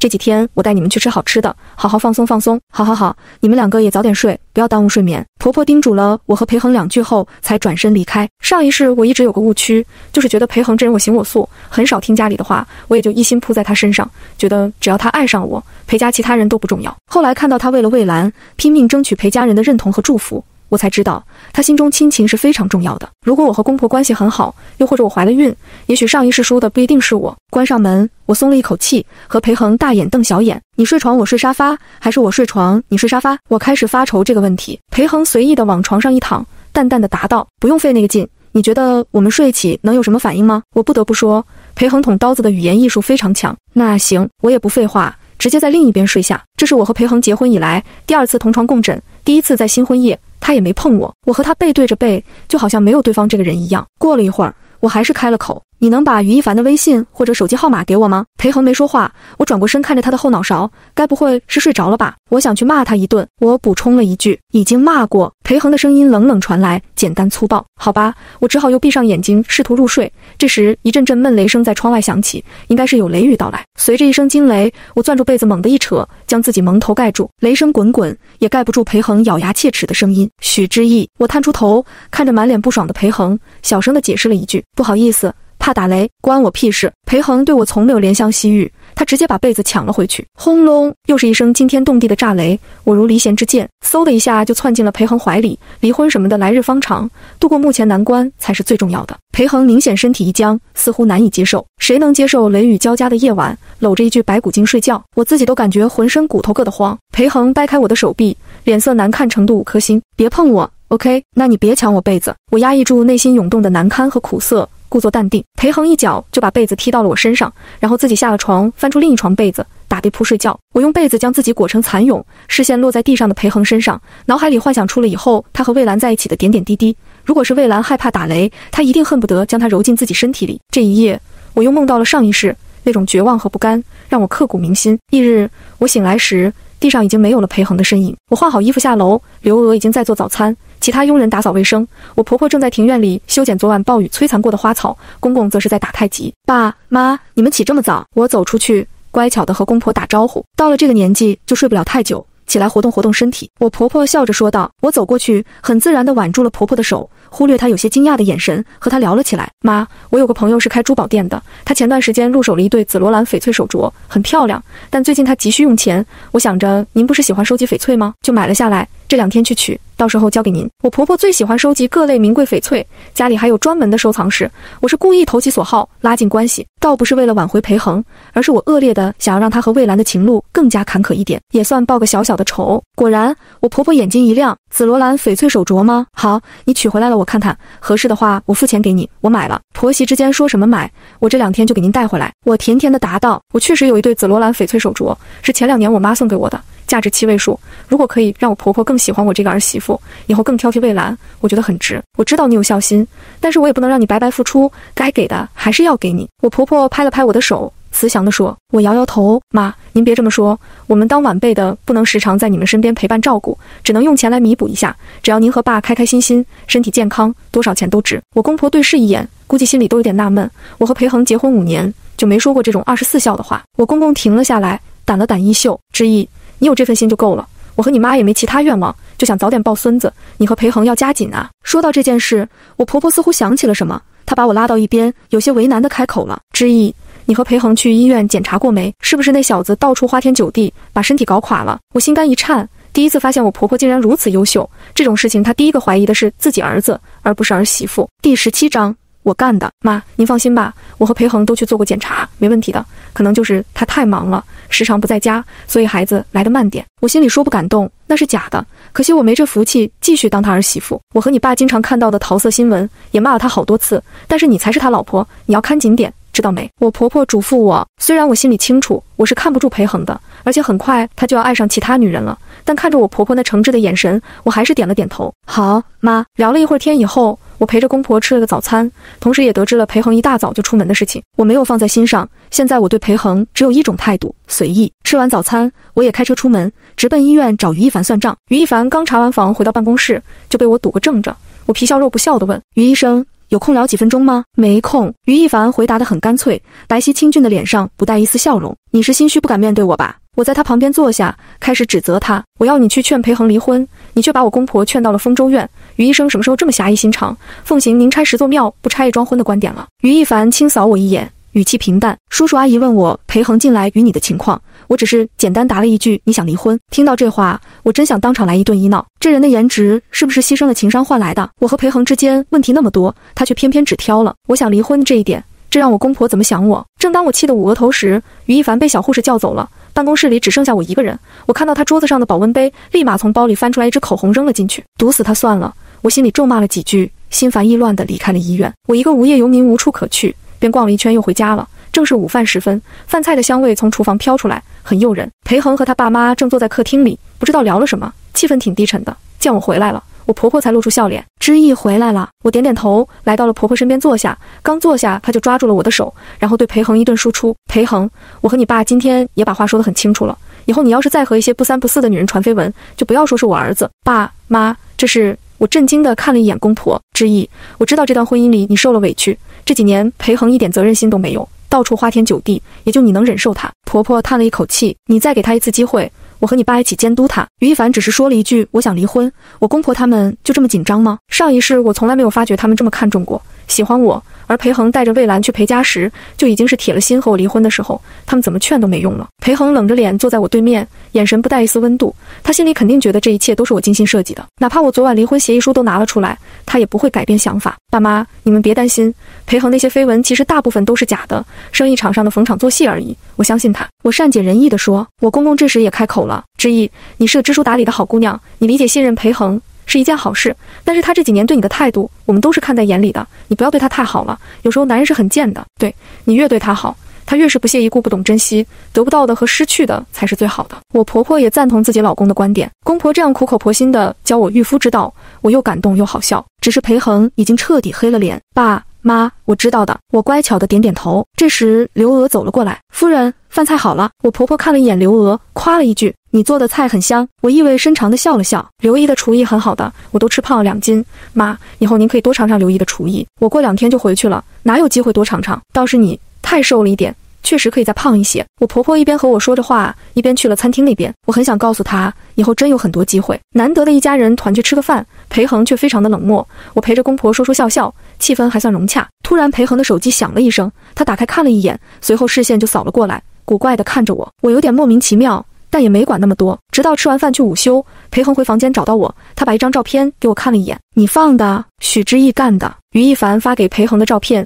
还有一句指控：保温杯里的口红正泡在茶水里，看起来非常违和。我承认了，对，谁让他去跟你爸妈打小报告？许之意，你最近中邪了吗？裴恒将手机收起来，眯了眯眼睛，打量着我，到底想干什么？以前的我和他那群朋友几乎没有交集，玩不到一块去，现在还会往于一凡保温杯里扔口红了。我没有中邪。我只是想开了。我从容的解释，裴恒，我已经为你付出了十年的青春和感情，既然你根本不会喜欢上我，不会给我任何回应，那我就过自己的生活，有错吗？我不想再像以前那样压抑自己，勉强自己。你觉得喜欢我十年很压抑很勉强，那为什么不早点放弃？裴恒咄咄逼人，精致俊逸的眉眼里含着点点寒意。我想什么时候放弃就什么时候放弃。我有点气愤了，气氛一时间凝固。裴恒盯着我看了好久。似乎觉得我很陌生，两人僵持了一会，最后以裴恒的离开结束。我松了一口气，瘫坐在床上，心里也空荡荡的。下午裴恒一离开，我后脚就跟着出了门去了。遇见每次我来的时候，魏兰都在，偏偏那一天我约了于一凡，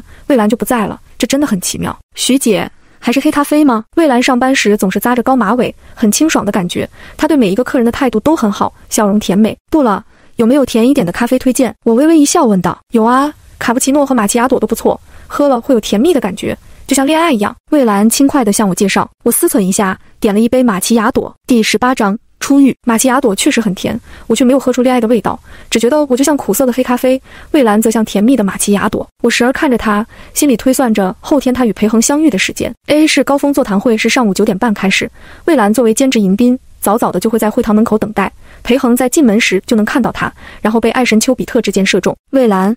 你想做点其他的兼职吗？我可以给你介绍一份家教的工作，明天就可以开始，报酬不错。我趁着魏兰在我旁边收拾桌子的间隙，轻声问道。魏兰冲我展开一个感激的笑容，但是拒绝了我。徐姐，谢谢你惦记着我，但是我再过几天就开学了，后天兼职完一个临时的迎宾工作后，就要回学校报道。我一怔，好像是快开学了。我晚了一步，如果早几天开口，也许真的能阻止魏兰出现在裴恒面前。但是我又很释然，以裴恒和魏兰之间的缘分来讲，我阻止了这一次。阻止不了第二次、第三次，不客气。我就是突然想起这么一件事，我又喝了一口咖啡，笑一笑。那你这里的工作也辞了？对，开学了，没时间了。魏兰环视四周，似乎还有些不舍，随后又冲我俏皮一笑：“徐姐，我会想你的。”我有点尴尬。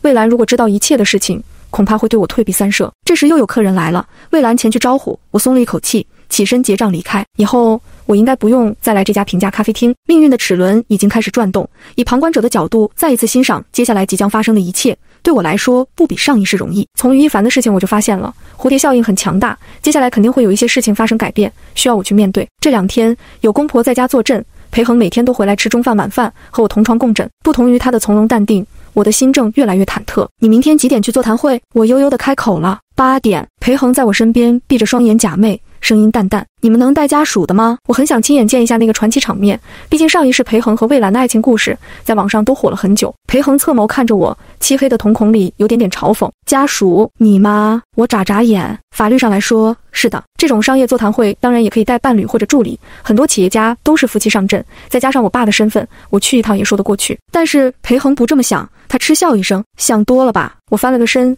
眼睛直勾勾地盯着裴恒的侧脸，他的侧脸轮廓非常的立体精致，尤其鼻梁与眉骨的衔接处完美的过分。这么英俊又多金的男人，最后居然被一个身份普通的女孩俘获了，真有点灰姑娘与王子的味道。你不带我去，我就去跟你爸说，让他带我去。我又开口了，这次是威胁。我公公肯定会疑惑，为什么不是裴恒带我去，然后就会质疑他对我不好。果然，这一招非常有效。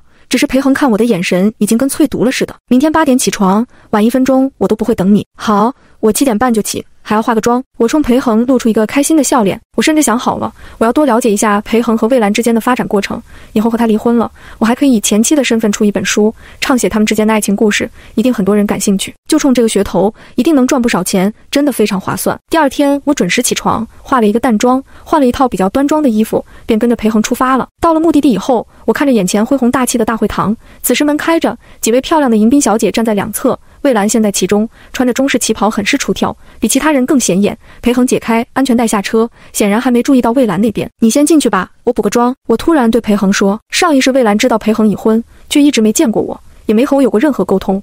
这一世还是先不要让他知道我和裴恒的关系。”裴恒懒得管我，下车就走了。我透过车窗凝神看着裴恒的身影往大门口走。终于，他来到了魏兰面前，因为背对着我，我看不到他的神情变化，只能明显看到他的脚步停滞了一下。似乎在打量眼前那个年轻漂亮的女孩，我的心也在这一刻重重的摔落谷底，很痛，同时尘埃落定。当着那么多人的面，裴恒即使再心动，也不会直接行动，场合不合适，所以他很快就进去了会场。看到他的身影消失，我这才下了车，独自一人走进大会堂。见到我，魏兰脸上露出了惊讶的神情。但很快就恢复了正常，小声的打了个招呼：“徐姐。”我冲他笑了笑，没有多说，便进去找位置了。裴恒已经在第一排的一个位置坐下，旁边坐着这次座谈会的场地负责人，两人正在交谈什么。我的位置就在裴恒旁边，走过去坐下时，正好听到那位负责人说完最后一句话：“好，他的号码我等下发给您。”随后他又有些窘迫地看了我一眼，赶紧起身离开了。他比潘青青有眼力见，我感叹了一句。裴恒扭头看了我一眼，眼神比以前还多了几分厌烦，估计他现在心里全是魏兰的身影，根本不想听我废话。他不想听。我非要说，上次潘青青坐我旁边半天了，都没认出我，说我是个形同虚设的人。正常，裴恒淡薄地回了一句：“你是说他没眼力见正常，还是说我形容虚设正常？”我好奇地问。裴恒不说话了，只是看着不远处走过来的魏兰，眼睛里是我从未见过的明亮。这种眼神我熟悉，因为我初次见到裴恒时就是这种眼神。魏兰满眼都是我。压根没看裴恒，这让我挺受用的。我现在有点相信魏兰是真心爱着齐周阳。上一世他对裴恒的拒绝也是发自真心，不然怎么压根看不到一旁眼神如此灼热的男人？第十九章各怀心事。魏兰是来给我们分发耳麦的，她恭恭敬敬地把耳麦放在我的桌面，冲我微微一笑。然后是裴恒，也是微微一笑，而裴恒难得的也露出了笑容，还说了一句谢谢。这就已经预示着魏兰对他的不同意义了。魏兰又看了一眼裴恒，眼底掠过一抹惊艳。再忠贞的女人，也不能否认眼前这张脸的英俊。小女孩脸皮薄，一句谢谢就让她红了脸。我突然又想，该不会刚才她对裴恒视而不见，是怕自己心动吧？这段小小的插曲很快就过去了。座谈会正式开始，主要是围绕 A 市与 C 市的联合发展以及周边发展为中心进行商讨。你定可实施方案。A 市近些年发展迅猛，各类市场都接近饱和，得拓展一下了。我对这些不是很懂，除了听我爸说一说，裴恒说一说，我公公说一说，其余时间我都忍不住沉浸在自己的思绪中。座谈会结束以后，我爸找到了我，意义你怎么也来了？在家无聊就来了。我答道。我爸知道我天生不是经商从政的料，这种场合对我来说更是无聊透顶，所以见到我非常惊讶。跟裴恒一起来的吧？我爸扭头看了一眼不远处的裴恒，他正和别人闲谈，举手投足间都是上位者的姿态。相比其他商界大佬，裴恒算得上非常年轻，而且已经是人中龙凤。我点点头，对，那也好。你是他老婆，本来就应该出席一些场合，坐稳一下自己的身份。我爸语重心长地说。这时我公公走了过来，亲家公，好久不见。哎呦呦，这不是裴董事长，咱们快大半年没见过了。我爸握住了伸过来的手。两个老男人热情地交谈起来，我趁机闪人，开始四处搜寻魏兰的身影。她现在应该去结算工资，准备走人了吧？我在大会堂各个角落搜索，最后在后门找到了魏兰。她果然已经领到了工资，正在等网约车。徐姐见到我，魏兰开心地喊了一声：“魏兰，你说你兼职迎宾就是在这里啊？”我赶紧走过去。神态自然地和他聊了起来。对呀，这个暑假最后一份兼职，等下准备和阿阳去吃大餐庆祝一下。魏兰盛情邀请我，你要加入吗？我想都没想就点头。好，但是会不会打扰到你们小情侣约会？魏兰小脸一红，什么小情侣约会，就是一起吃个饭，不碍事的。男人都喜欢这种会害羞到脸红的女人吧？看起来就像一朵纯真的粉色玫瑰，娇嫩可爱。既然魏兰不介意，我就厚着脸皮跟她一起去了。齐周阳已经在约好的烤肉店等着。见到我也来了，他明显慌了一下，赶紧站起来。徐姐，小兰，我今天兼职遇到了徐姐，就叫她一起来吃烤肉了。今天我请客。魏兰挽着我的胳膊，就像好朋友一样。抱歉，小齐，我来当电灯泡了。我不好意思的笑了笑。齐周阳疯狂摇头，不不不，没事的，快坐吧。我和魏兰坐一边，齐周阳坐在对面。三人点了一些食材后，桌上的铁炉子里放火炭，上面架着一个圆形烤盘，桌子上摆着大大小小的盘子，全是食材。魏兰得知我也是 A 大的历届学姐后。情绪高涨，和我叽叽喳喳地说了许多关于 A 大的事情。齐周阳则是帮我们烤着五花肉，时不时宠溺地看一眼魏兰，又有些复杂地看我一眼。气氛融洽之时，魏兰的手机响了一下，她随手拿起来看了一眼，是一条短信。我瞥了一眼一连串八的号码，除了裴恒，我想不出其他人。他果然主动出击了。看到裴恒的短信后，魏兰的脸色变了变，似乎有些疑惑，又有些惊讶。他没有回复，只是把手机放下了。小兰，谁呀？齐周阳笑着问。陌生推销短信。魏兰低头吃着烤好的五花肉，声音有一丝虚。我同情地看了一眼齐周阳，这傻小子还在乐呵呵的烤肉，压根不知道有一个衣冠禽兽正把魔爪伸向了他的亲亲女友。不知道出于什么心态，我起身说道：“我去个洗手间。”随后我来到洗手间，给齐周阳发了一条信息：“帕拉梅拉不喜欢吗？那天怎么没有开走？还把车钥匙放在大门口。好在丰州院安保一流，无关人等根本进不来。”否则车都可能被盗了。发完这条信息，我补了个妆，捋了捋耳畔的碎发，又回到了位置上。齐周阳已经不敢看我，一直在烤肉，我的言行举止像极了想要包养小白脸的富婆。而魏兰也开始有些心不在焉，因为裴恒见她不回信息，直接打电话过来，他吓了一跳，看着来电显示慌乱的就挂掉，然后快速的回复了一条短信。我的余光看不清，魏兰，这种骚扰电话你可以直接拉进黑名单。我假装不知情，好心的提醒，嗯，我知道的。魏兰把屏幕朝下放好手机，点点头。不知道魏兰回了什么，裴恒总算没有再骚扰她了。但是这不过是暂时的风平浪静，被他盯上了，你就是月上的嫦娥，他都要登月给拽下来。这顿烤肉大家吃的各怀心事，吃完以后，齐周阳提出送我和魏兰回去，我拒绝了。小齐，你送魏兰就好了，我自己打个车回去。那好吧，许杰，你注意安全。齐周阳还是不敢看我的眼睛，放心吧，我伸手拦下一辆的士，看着齐周阳和魏兰上了车以后，才打电话叫小李开车来接我。十五分钟后，小李出现在我的面前，我看着他那木然又忠诚的模样。叹了一口气，小李，要是裴恒跟你一样随叫随到就好了。小李眼波动了动，半晌反问我：“夫人，要我现在联系裴总吗？”我扶额，你还是开车吧，别说话了。小李点点头，载着我一路奔回丰州院，也不知道我公婆还在不在，裴恒有没有回去。第二十章，齐周阳的求助。回到家时，天色已晚，丰州院灯火通明。到家以后，我便让小李回去了。我公婆在家，但是裴恒没回来。之意，裴恒呢？没和你一起吗？见我独自回来。我婆婆问道：“座谈会结束后，我遇到了一个朋友，就和他去吃了个饭。我以为裴恒回来了，我露出一脸的惊讶。没猜错的话，裴恒今晚不会回来。有了新的猎物，他的心早就飞了到了别人的身上。公公沉着脸，他们还没回 C 市，裴恒就夜不归宿了。如果他们不在，岂不是把家当成旅馆？打他电话打不通，就把他那几个朋友的电话全打一遍。我公公手一挥，气恼极了。我婆婆对我使了个眼色，我便拿出手机递给了他。这种挨骂的差事，我还是闪远点，交给婆婆来做准没错。”裴恒绝不敢骂自己母亲。虽然我和裴恒的好哥们不熟，但是该有的电话号码还是有。除了于一凡，我婆婆翻着通讯录开始打电话，开的免提，打了四五个以后，我听到了陆喜成的声音：“恒哥，嫂子的来电，不接。”裴恒的声音不耐烦极了，我和公婆听得一清二楚。旁边还传来了其他人的起哄声，我在他们那群人心里就是个不受宠的怨妇。是伯母。陆喜成压低声音说道，起哄声顿时消失。裴恒也接了电话：“妈，裴恒，你在哪里？你怎么不回来吃晚饭？天天跟一群花花公子吃喝玩乐，你想废了不成？”我婆婆平时温婉得体的一个人，此时颇有母老虎的架势。我就是和几个朋友聚聚，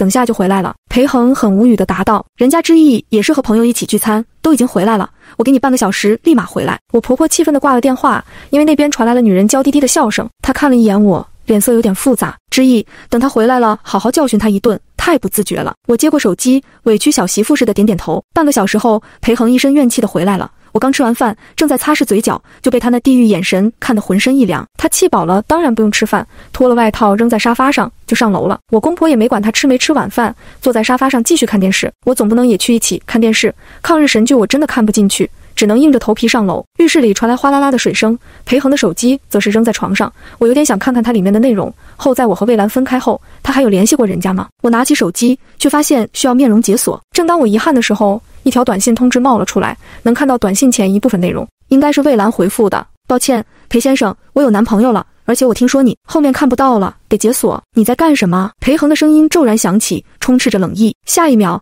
我手中的手机被一把夺走。他警告我以后不要乱动我的手机。说着，他低头解锁查看了刚才收到的信息，脸色也变得更加阴沉起来。他这样的男人要什么女人没有？只要他勾勾手指，心甘情愿为他离婚的少妇们都能挤满一个足球场。而魏兰竟然拒绝了他，男人的自尊心受到了前所未有的打击，人格魅力受到了极大的挑衅。他是谁？我故意问，不需要你过问。裴恒烦躁地看了我一眼。如果我没猜错的话，他后面的内容应该是听说你已婚，希望你忠诚于自己的婚姻，不要出轨。对吧？我不仅不生气，甚至为自己的睿智而感到骄傲。我了解魏兰的性格，她绝对会说出仁义道德一类的话。裴恒坐在床上，冷声问：“所以呢？”我立马又从抽屉里拿出了一份离婚协议书，这次我改了一点，要求裴恒给我他名下裴氏百分之三的股份。裴恒看完以后，竟然笑了起来：“百分之三的股份，许之意，你胃口挺大。要知道，裴氏大小股东众多，许多股东连百分之三的持股都没有。”我欲言又止。该怎么委婉地告诉裴恒，如果现在不愿意给这百分之三的股份，以后他会给更多呢？上一世都给到百分之十了，他不是嫌你已婚吗？你就花点代价和我离婚，不就可以没有后顾之忧的去追求他了？我提醒裴恒，你觉得他值吗？裴恒挑眉，有些讽刺。我又噎住了，不值吗？后来你为了他可以付出一切呀。应该是裴恒当前还搞不清楚自己的真实心意，把魏兰当做了以往的莺莺燕燕。到手了就会腻味的那种，所以才能大言不惭。我叹息一声，把离婚协议书撕了，扔进垃圾桶。看来还是过段时间重新准备一份百分之十股份的协议书吧。裴恒冷眼看着我的一举一动，我带着一丝遗憾去浴室洗澡了。我洗完澡出来时，裴恒正在卧室的阳台外打电话，指尖夹着一支香烟。烟味被晚风裹挟着钻了进来，我忍不住咳嗽了两声。他回头看了我一眼，挂了电话，烟头扔在地上，随意的用鞋尖踩灭。你就不能扔进垃圾桶？刘姨也很难打扫的。我优雅的涂抹着护肤品，故意说：“我格外的重用刘娥一些，一日三餐交给她，熬中药交给她，主卧的卫生也是另外安排给她。当然给她的工资也比别人多一些。”对此，他非常感激我，请他们不就是回来做家务的？裴恒嗤之以鼻，嫌累可以不要做这一行。我摇摇头。这男人以后会后悔的。裴恒去了床上躺下，我的手机这时响了起来，是齐周阳打来的，我有点意外。电话一接通，就传来了齐周阳略带绝望的声音：“徐姐，帮帮我，我被人打了，你在哪？”我神色一凛，直接问：“云巅酒店停车场。”齐周阳话音刚落，又传来了拳打脚踢的声音，以及他的痛呼声，电话也随之挂断了。我二话不说就去换了衣服，拿了车钥匙，准备离开。去干什么？裴恒冷不丁开口质问。第二十一章。我胆子更大，邓晶儿找我有点事，我随口撒了个谎。等我大半夜的赶到云巅酒店的停车场时，齐周阳已经一身伤了。有三四个戴着大金链子的胖男人，嘴里头叼着烟，见我来了，发出了嘲笑：“小子，这就是你找的靠山啊！一个娘们，该不会是找他来陪我们睡一觉，给你将功抵过吧？”另一个说话更是下流。我走到齐周阳面前，把他扶了起来。好好的年轻小伙被打得鼻青脸肿，认不出本来模样，非常的狼狈。徐姐，我在这里兼职泊车，不小心把他们的车子剐蹭了一下。我说我可以赔钱，他们叫我赔十万，我没那么多。齐周阳低声告诉我事情的来龙去脉。什么车？我看看。我问。齐周阳指了指不远处，不算明亮的灯光下，一辆白色途观停在那。就这，我忍不住拧眉。这辆车总价也就二十多万，剐蹭一下就叫齐周阳赔十万，哪来这种好生意？怎么样，小娘们？想好怎么赔偿了没？你这瘦巴巴的，胸还没老子大，赔一次不够本啊！听到胖子们的污言秽语，齐周阳竟然强撑着站了出来，血淋淋的手指着他们：“你们嘴巴放干净点，大不了把我打死。”我有点惊讶，大学生都这么有男子气概的吗？我还以为他叫我来就只会躲在我背后，可怜巴巴的等我解决问题。齐周阳的男子气概显然激起了胖子们的怒意，我挡在了他面前，横眉冷对：“等我三分钟。”说完，我拨通了一个电话，这里是云巅酒店的地盘。齐周阳又是在酒店兼职，本应该由酒店负责人出面平息一下，但是现在不见酒店方的任何人出现。哟，姚人呢？妹子，我们哥仨在 A 市也算是有头有脸的人物，你打听打听，谁不知道我阿龙？你叫十个人，我就叫一百个，信不信？胖子的口气不小，可惜我还真没听过他这号人物，一群社会渣子而已。我挂了电话，露出微笑。不到三分钟，云巅酒店的总经理就出现在了我面前，见到我便客气地打招呼：“许小姐。”您怎么大驾光临了？我朋友在你们酒店兼职，被这几个胖子打了，知道该怎么处理吗？我淡淡的问。什么？有人敢欺负许小姐的朋友？总经理立马扭头看着那三个胖子，就你们？胖子们似乎有点愣住了。云巅酒店是一家五星级酒店，在 A 市的规模数一数二，他们当然知道自己惹不起。有时候权势就是很好用，再蛮横的人。也不得不低头。刚才还气势汹汹的胖子们，甚至还不知道我的身份，就在酒店总经理的震慑下，恭恭敬敬地向我道了歉，还赔了齐周阳一笔医药费。等胖子们灰溜溜地准备离开时，我又开口了：“等一下。”然后我扭头对齐周阳说：“去，给他们一人一个耳光。”徐姐，齐周阳愣住了，被血糊住的眼睛缝里有一丝胆怯和犹豫。能得到一笔医药费已经很不错了。他肯定没想过打回去，怕什么？我一把拉住齐周阳，来到了胖子们面前，学着点。说完，我狠狠地甩了一个耳光在其中一个胖子脸上，其他两人也如法炮制。他们被打的眼睛都喷火了，就是不敢还手。滚吧！我的手掌心都震麻了，有些不耐烦地让那几个人渣离开。停车场里很快恢复了平静。酒店总经理邀请我去喝杯茶，我没兴趣，大半夜和一个不熟的人喝茶，便拒绝了。而齐周阳已经彻底呆了，从我动手打人那一刻起，他好像一直没回过神。走吧。送你去医院，我很自然地牵起齐周阳的手，拉着他走到了停车场外面。我的车停在这里，徐姐，我自己去就好了。齐周阳急急地说：“别废话。”我故意瞪他一眼。去医院的路上，我和齐周阳聊着天，才知道他父亲前两天摔伤了脚。在住院，所以他想在开学之前多做两天兼职，尽量把自己的学费凑齐。之所以选择打电话给我求救，是因为他直觉我能帮他。我突然有点理解了上一世魏兰为什么渐渐沦陷，在遇到自己无法解决的困境时，有一个人挥挥手两句话，就让你守得云开见月明，谁不心动？每一个人都无法选择自己的出身，可是可以选择走捷径。陪着齐周阳在医院处理好伤口以后，我拖着疲惫的身体回家了。熬夜真的伤不起。裴恒正侧睡在一旁，我去洗了个澡以后，掀开被子就钻了进去，准备美美的睡一觉。好玩吗？裴恒冷不丁开口了，声音略微沙哑。我刚闭上的眼睛，马上又睁开。是不是把你吵醒了？再忍两天，你爸妈走了就不会发生这种事了。许志毅，你别挑战我的耐心。裴恒说这种话就意味着他心情不好。我怎么你了？我现在困成狗，还要猜谜。我爸妈在丰州院的期间，你也敢出去野？想死？裴恒转过身，眼底满是怒火。我和他大眼瞪小眼的对视了几秒，突然心虚，难道被他发现我并不是去找邓金儿了？也对，裴恒这么放纵的角色，这两天都克制了一把。我却比他还胆大，大半夜去给男大学生撑腰，又贴心陪送医院处理伤口。好，我记住了，不能发朋友圈，不能在你爸妈来这里时出去玩。下次我注意。我总结了一下，说完我就想继续回周公，但是裴恒不知道发什么神经，竟然一个翻身压在了我的身上。他双臂撑在我的头两侧，用力时的肌肉线条非常性感，加上他的颜值，简直就是荷尔蒙暴击。我瞬间清醒了，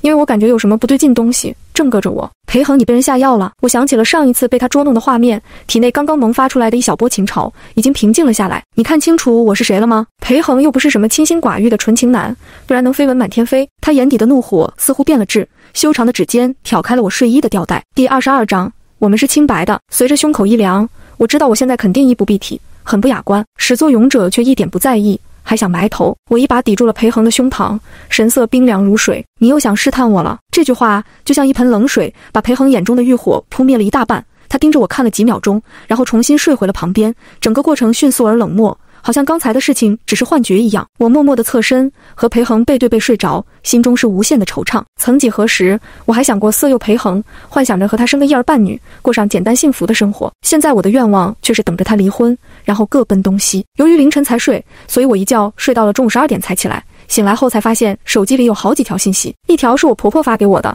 他们临时有事回去 C 市了；一条是李优发给我的。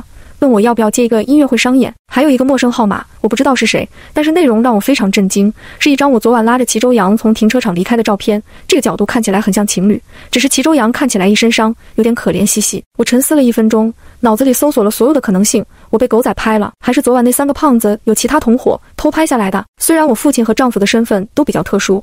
但是我一直都很低调，尤其是和裴恒结婚以后，连邓金儿他们都约不到我，又怎么可能引起狗仔的注意？我死活想不出一个合理的理由，于是干脆拨通了那个陌生号码，刚接通就被无情挂断。我只好发信息过去，请问你是哪位？能说下名字吗？如果那张照片传出去，就算我和齐周阳目前清清白白，也会被不明原因的吃瓜群众们误会。我只想低调泡靓仔，不想高调上热搜。很快，对方回复了三个字：于一凡。我差点一口老血喷了出来。他昨晚也在停车场那里，还偷拍了我和齐周阳的照片。之前在医院时，他就怀疑过我和齐周阳，现在跳进黄河也洗不清了。我立马继续回复：照片上的人确实是我，但是你肯定误会了什么。这样吧，我请你吃饭，和你说一下事情的经过。然后于一凡就没动静了，仿佛他是一个空号。我按耐不住，再度拨通了他的号码。这一次他接了。你定个吃饭地点、时间发给我就好，爽快的像是特地等待着我请他吃饭一样。好吧，我挂了电话，思来想去，还是选择了云巅酒店，在哪里被误会就在哪里解释。于一凡回复了一个嗯，我就这样怀揣着忐忑的心情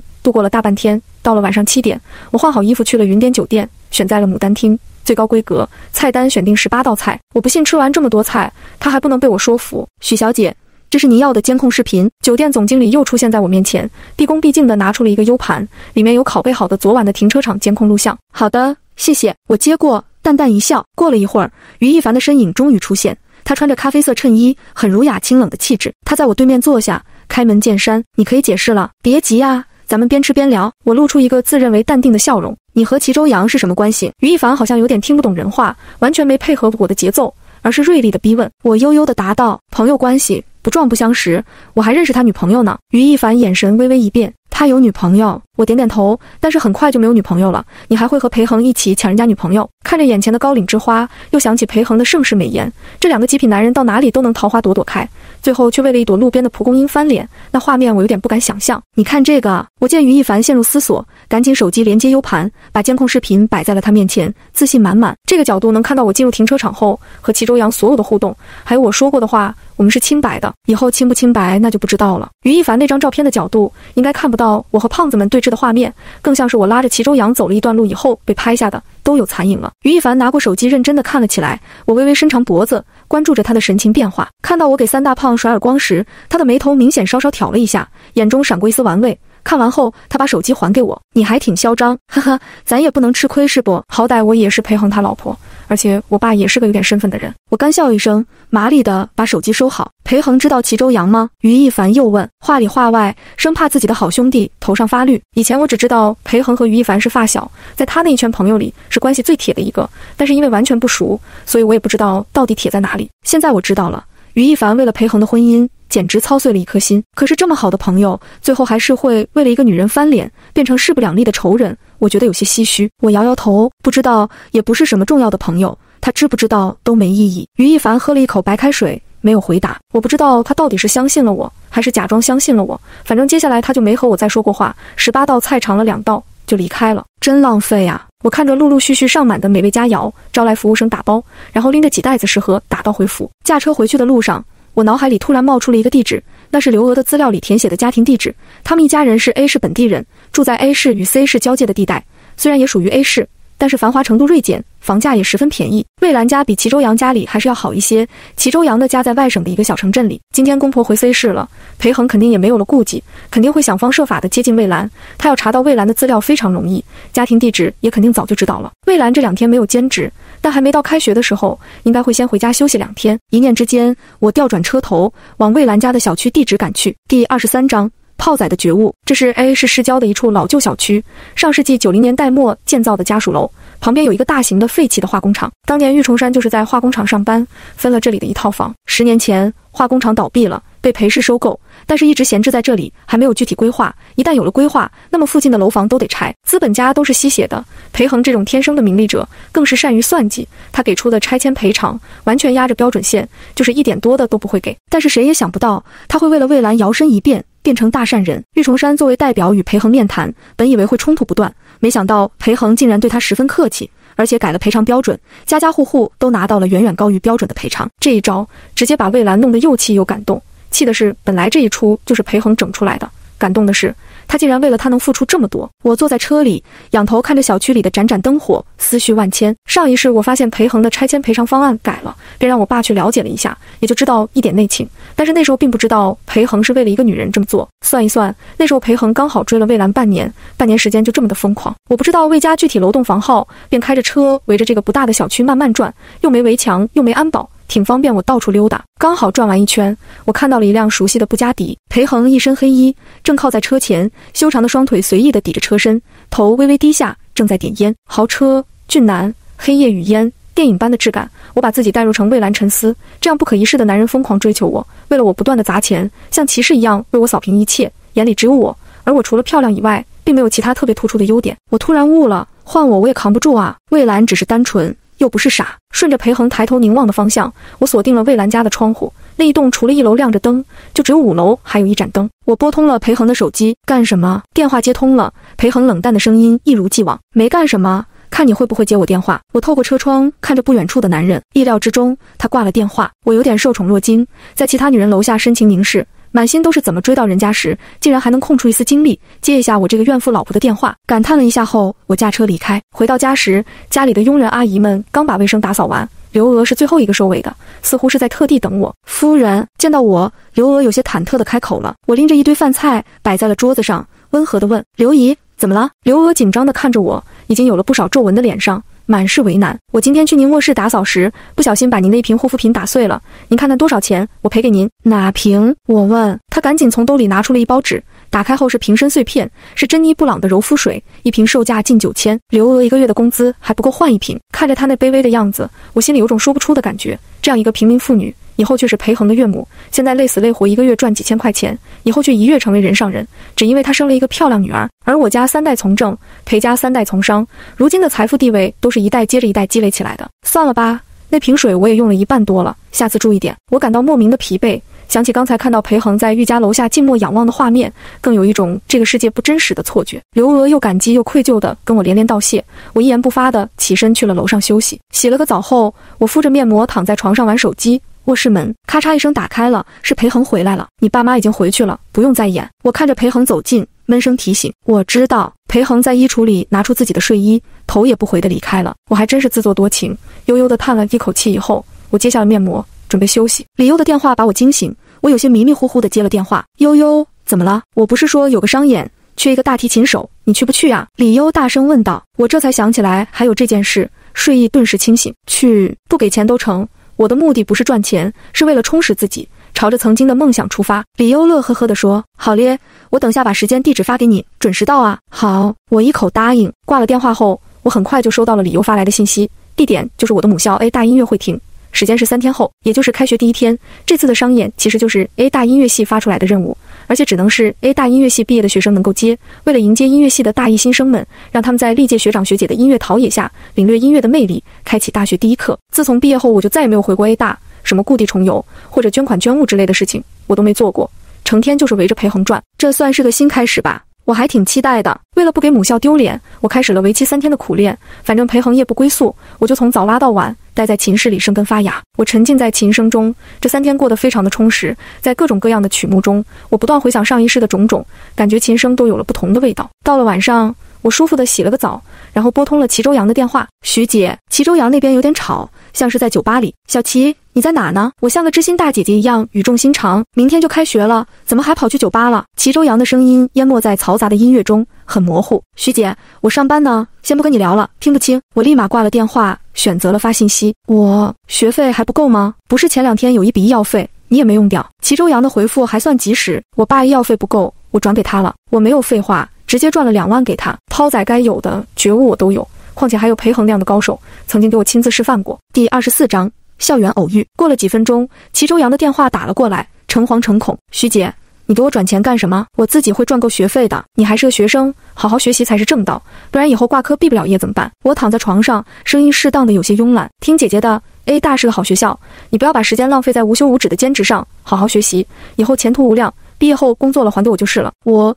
齐周阳似乎哽咽了一下，我骤然有点心酸，同时觉得自己是不是有点太奸诈了？竟然利用这么单纯的孩子。齐周阳以为我是好心，实际上我是在装大尾巴狼。齐周阳这样的出身，能考上 A 大，并且在 A 市生存下去，是需要付出比其他人更大的努力的。抛开蔚蓝这方面的各种因素，我发自内心的欣赏这种自强不息的人。别说了，以后缺钱了，你跟我说，你就当我资助你，毕业工作了还给我就好。实在觉得过意不去。就多还一点当做利息。我说道：“这点钱对我来说真的不算什么，又能让我心里得到平衡，又能帮到齐周阳，一举两得。齐周阳应该是真的走投无路了，不然不可能开学前一天还在兼职。”挂了电话以后，齐周阳把钱收了，回复道：“谢谢徐姐，我以后一定会还给你的。”我没有回，扔掉手机睡觉。第二天一大早我就起床，精心打扮了一番，一袭白裙优雅大方，加上一个淡妆，显得气色很好。背上大提琴以后，便让小李开车送我去了 A 大。重回校园，我心中感慨万千。看着朝气蓬勃的新生们，我想起了自己刚进大学时的画面，仿佛就在昨日。那时候我欢欣雀跃，一想到自己终于考上了裴恒所在的大学，以后就是校友了，心情比中了五百万还激动。我按照记忆中的路线来到了音乐系的音乐会厅，这里是所有音乐系学生都会经过的地方。四周是透明的落地玻璃，会厅中间有阶梯式的演出台。今天像我一样前来参加演奏的校友们共有五十二人，演奏的是《蓝色多瑙河圆舞曲》，很经典的曲子。演出台上已经布置好了位置。我们临时分配好位置后，各就各位，没有彩排，也没有练习，全靠有没有默契。但是大家都是 A 大音乐系出去的人才，哪怕经受了社会多年的打磨，也依旧保留着实力，不然不敢接。随着优美的旋律响起，我感受着音乐中的热情奔放，全身心都非常的放松。围观的学生越来越多，我们这个临时的乐团也更加的起劲，一连演奏了几首经典曲目，直到中午才歇停。哗啦啦的掌声让我非常受用，眼睛扫过人群里，却看到了齐周阳正站在那儿，眼神亮晶晶的看着我。见我也看到了他，他有点害羞，但又很亲切地挥了挥手。我笑着对他点点头。乐团散场后，我朝着他走了过去。小齐，徐姐，原来你还会拉大提琴，好厉害！齐周阳毫不吝啬地夸赞我。我大学就是学的大提琴。我背着大提琴和齐周阳边走边聊天。这种环境下，我感觉自己一瞬间年轻了许多，好像又重生到了大学时代。我觉得会音乐的女孩子都非常有魅力。齐周阳脸上的伤已经好的差不多了，但是嘴角、眼角还是有点伤疤，穿着一身运动短袖短裤。气质阳光，说这话的时候我都有点迷糊了。他该不会已经迷上了姐吧？下一秒，齐周阳就打破了我的幻想。我家兰兰也是学音乐的，但她学的是声乐，不是器乐。那不是和李优一样的，以后也是朝着歌星的目标进军？我心里悠悠地叹了一口气。看来齐周阳心里对魏兰确实一往情深。我要挖墙脚有点难，但是等到裴恒把魏兰撬动了，我就有可乘之机。反正我的目的是找点心理平衡，又不是找真爱。阿阳，魏兰的身影出现在了前方，她也是一身白裙。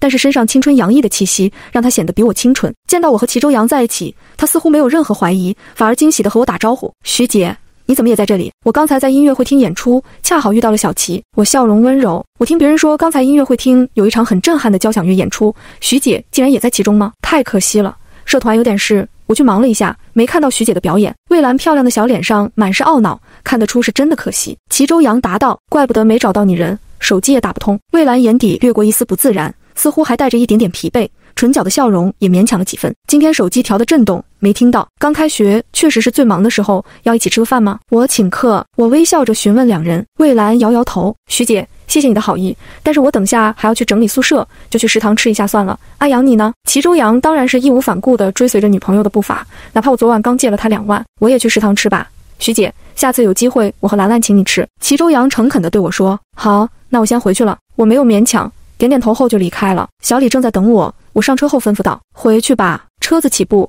行驶在 A 大宽阔的校区道路中，脑海里浮现出自己每天偷偷追着裴恒跑的画面，每次都得想个理由制造偶遇。突然，一辆银色雷克萨斯从旁边缓缓驶过，我没看错的话，开了二分之一的车窗内是裴恒的侧脸。他怎么忽然换了车出现在 A 大？这辆车比他那一堆豪车要低调多了。我唯一能想出来的解释，就是为了来见魏兰。而且不想引起太多注意，怪不得刚才魏兰的眼神那么不自然，眉眼间带着一种疲态，恐怕这两天都受到了裴恒的骚扰。毕竟这么强势的介入，一开始谁都不会舒服。况且还是已经心有所属的魏兰，也不知道裴恒刚才看到了我没有。不过他一心想着魏兰，应该无心注意四周。第二十五章突然红了一把，回到丰州院。正是吃中饭的时光，刘娥见我回来了，恭敬地打了招呼。我看了一眼依旧色香味俱全的饭菜，想起刚才见过的裴恒和魏兰，我顿时没有了吃饭的胃口，筷子都没动就上楼了。夫人，您是不是哪里不舒服？需要叫医生过来看看吗？刘娥体贴地跟了上来问。自从我原谅了他打碎护肤品的事情发生后，他对我更加的关怀备至起来。如果他不是蔚蓝的母亲，可能我真的会很喜欢他这种类型的佣人阿姨。没有，只是不想吃，你叫其他几个阿姨一起吃了吧。我躺在床上，烦躁地答道：“刘娥不敢多说，悄无声息地退了出去。在乱七八糟的思绪中，我睡着了。如果不是邓金儿他们的电话轮番轰炸，我能睡到第二天。”邓金儿的大嗓门充满了兴奋：“卧槽啊，女神 A 大的大提琴女神重出江湖了啊！”我睡得有点迷糊，没懂他在说什么。我把链接发你了。你看看，立刻马上就看看。邓金儿说完就挂了。我一看手机未接来电，欧阳田和李优都打了三个电话，我没接到。微信推送了邓金儿发来的消息，我眯着眼睛点开了那个链接，是一个视频，内容就是今天 A 大音乐会厅里的演奏。我坐在最左侧的位置，不知道谁拍的，时不时把镜头在我身上放大，像是暗恋我一样。然后就是一堆网友疯狂吹捧我，什么气质美女，什么曾经的 A 大音乐系女神，我看得心神荡漾。睡意全无，谁不喜欢被夸？我还是第一次享受这种感觉。从小到大夸我的人倒也不少，但是大部分都是因为我爸的身份。像这种纯粹因为我个人的魅力而引来无数人喜欢的事情，确实是第一次。邓金儿掐准了时间，在我看完后又一个电话追了过来。怎么样？没想到吧？突然就红了，哈哈哈哈！确实有点出乎意料。我心情美滋滋。看来姐姐我的魅力不减当年。那可不是，你那时候就是被裴恒糊住了眼睛，追你的人那么多，你非要去他那里当一个卑微的舔狗。邓金儿说起这些事。至今愤愤不平，往事不堪回首。我现在不是想开了吗？回想起那些往事，我心中有些怅然。想开了就来喝酒啊！我正好闲着没事，干脆把你包装成一个大网红算了。邓金儿开始畅想未来，然后咱们四个再整个什么乐队，李优负责主唱，我们三个负责伴奏什么的，完美啊！我感觉邓金儿有点闲出鸟了，这种不切实际的幻想都冒了出来。我答道：别管以后了，你在哪里？我们几个约个饭，别喝酒了，我都饿了一天了。增肥计划不能停，邓金儿二话不说就答应了下来。好啊，我知道一家茶楼，里面的茶不错，饭菜比我吃过的那些五星级酒店更赞。我发地址给你。收到了茶楼地址后，我换了一身衣服出发了。没想到的是，我居然在茶楼门口遇到了我爸，他正在和几个朋友聊天，看样子是刚吃完出来。爸，我叫了一声，咦，你怎么在这里？我爸看到我也是一惊。身边几个老朋友都纷纷看了我一眼，其中有一个叔叔眼尖，立马开口了：“老许，你女儿是不是就是今天 A 大拉大提琴的美女？现在网上很火呀。”我爸应该也看过了，他脸上露出了一抹骄傲，但语气挺克制：“嗨呀，火什么？他大学学的就是大提琴，荒废了几年了，荒废了几年还水平这么高。老许，你女儿真是厉害呀，长相也好，一看就是富贵相。”我听着这些彩虹屁，有点得意又有点羞愧，我这白骨精形象哪里和富贵相搭边？这时，邓金儿的电话催了过来。我赶紧跟我爸说：“爸，我朋友还在等我，我先进去了。去吧，去吧，我也要回去了。”我爸摆摆手，我点点头，就往茶楼里走。突然想告诉我爸，我过两天要回去吃饭。一转头却看到我爸车上下来一个大概四十岁左右的女人，正好站在路灯下，光线比较明亮。她穿着大圆领的连身包臀短裙，经典黑白撞色，妩媚中不失知性美。她恭敬地跟我爸弯腰，露出的乳沟恰到好处，不太明显又略带诱惑。我爸和她说了一句什么话，就坐上了后座。那个女人负责开车。以前的司机不是个男人吗？现在我爸换了个女司机，我心中有些疑惑，有一种特别不舒服的感觉。咦，你在门口干嘛？当迎宾啊？欧阳田也才刚赶来，见我在门口出神，便拍了拍我的肩膀，开玩笑：“等你呀，当你一个人的迎宾，敢不敢动？”我回过神，露出笑容，挽住了欧阳田的胳膊：“走吧，今儿都快催死我了。”我和欧阳田边聊边走，来到了约好的雅间后。推开门，就是一股轻柔的茶香。墙角的隐藏式音响放着古典优雅的琴声，让人有种神清气爽的感觉。邓金儿正在端着茶杯凹造型，让李优给她拍美照，然后发朋友圈聊一聊他的备胎们。我以前觉得邓金儿是花心大萝卜，不懂爱情的魅力，现在我越来越觉得她就是人间清醒。咦，甜甜，你们来了！见我们来了，邓金儿收起了风骚的姿势，总算做得像个正常人了。她笑嘻嘻地朝我们招手：“快坐，快坐，菜我已经点好了。”相信我，绝对口味一级棒。我和欧阳田也在茶桌旁坐下。行，相信你。四个女人恰好坐起一张茶桌，漂亮的茶艺小姐穿着青绿色的雅致旗袍，头发用白色玉簪插着，很有一番风味。我要了一杯金骏眉，是味道比较甜的红茶。茶艺小姐当场给我们表演了一番泡茶的流程，同时轻言细语地和我们解释所泡之茶的价格、产地、味道特点，非常的赏心悦目。喝着茶，饭菜也上来了。确实，每一道的味道都很不错。就在服务员开门关门的一瞬，我看到了裴恒和于一凡两人从外面经过。第二十六章，气死裴恒！他们两人也在茶楼吃饭吗？我心里闪过一丝好奇，但是很快就释然。他们在这里干什么？与我无关。不久的将来，大家就桥归桥，路归路，各不相干。吃着吃着，李优突然宣布了一个好消息。对了，集美们，通知你们一下，我和何康决定结婚了。我差点一口饭呛死。咳嗽了起来，邓金儿和欧阳田纷纷瞪大眼睛。我靠，你真打算进入婚姻这座坟墓了？别人是坟墓，我和何康可不是，我们是爱的城堡。李优对何康非常有信心，从颜值上来说，他们很配；家世上而言，何家比不上李家，应该也不敢对他不好。男人没一个靠得住的。悠悠，你可别被爱情冲昏了头脑啊！邓金儿最着急，他使劲抓着李优的肩膀，快醒醒！再考虑个半年怎么样？李优知道我们都是担心他，也没生气，只是笑着拍开了邓金儿的手。哎呀，你们就是把婚姻想得太可怕了，我会让你们重新燃起对爱情的希望。邓金儿还想继续游说，我冲他使了一个眼色，他识趣的闭了嘴。虽然是好姐妹，但是也不能过多干涉，点到即止就好。我去个洗手间。吃完饭，其他几人又继续喝茶解腻，我则是感觉小腹有些不舒服，起身说道：“出了雅间，我往右边一直走。”经过一扇门时，我听到了陆喜成的声音：“恒哥，你遇到真爱了呀！”我停下脚步，继续听。傅杰幸灾乐祸地接着：“可惜了，人家小姑娘压根不搭理你。裴总的魅力也有失效的时候，她都有男朋友了，你放弃算了。天涯何处无芳草，不就女大学生遍地都是。这就是狐朋狗友的意义。在你走上歧途时，他们不仅不会阻拦你，还会为你助力。我也明白。”在陆喜成他们心中，我压根就不算裴恒的妻子，他们都默认裴恒是已婚单身人士。这时，于一凡的声音严肃而清冷地响了起来：“那许之意呢？你和他的婚姻是受法律保护的。”我突然觉得上次给他保温杯里抛口红有点过分了。雅间里一片沉默，过了一会儿，才听到裴恒懒洋洋的嗓音：“什么狗屁真爱，玩玩而已，没听过一句话吗？得不到的才稀罕。”接下来，裴恒还说了什么？我不知道，因为小腹越来越痛，我必须去洗手间。万万没想到的是，晚了两个月的大姨妈。今天突然造访了，估计是最近我吃得饱睡得好，加上中药的调理，没那么血虚了，所以大姨妈也开始正常。我拽起裙子的后面看了看，朵朵梅花开。思索了一分钟后，我拨通了裴恒的电话，被拒接了。为了和朋友商讨怎么追求魏兰，所以一分钟都空不出来敷衍我了吗？大姨妈的到来让我暴躁了几分，我憋着一肚子气来到了裴恒所在的雅间，一把推开了门。大家都有些震惊于我的出现，尤其刚才聊得最兴奋的陆喜成，整个人都蔫巴了几分。裴恒就坐在正对门的位置。他穿着一件黑色的 polo 上衣，简约成熟。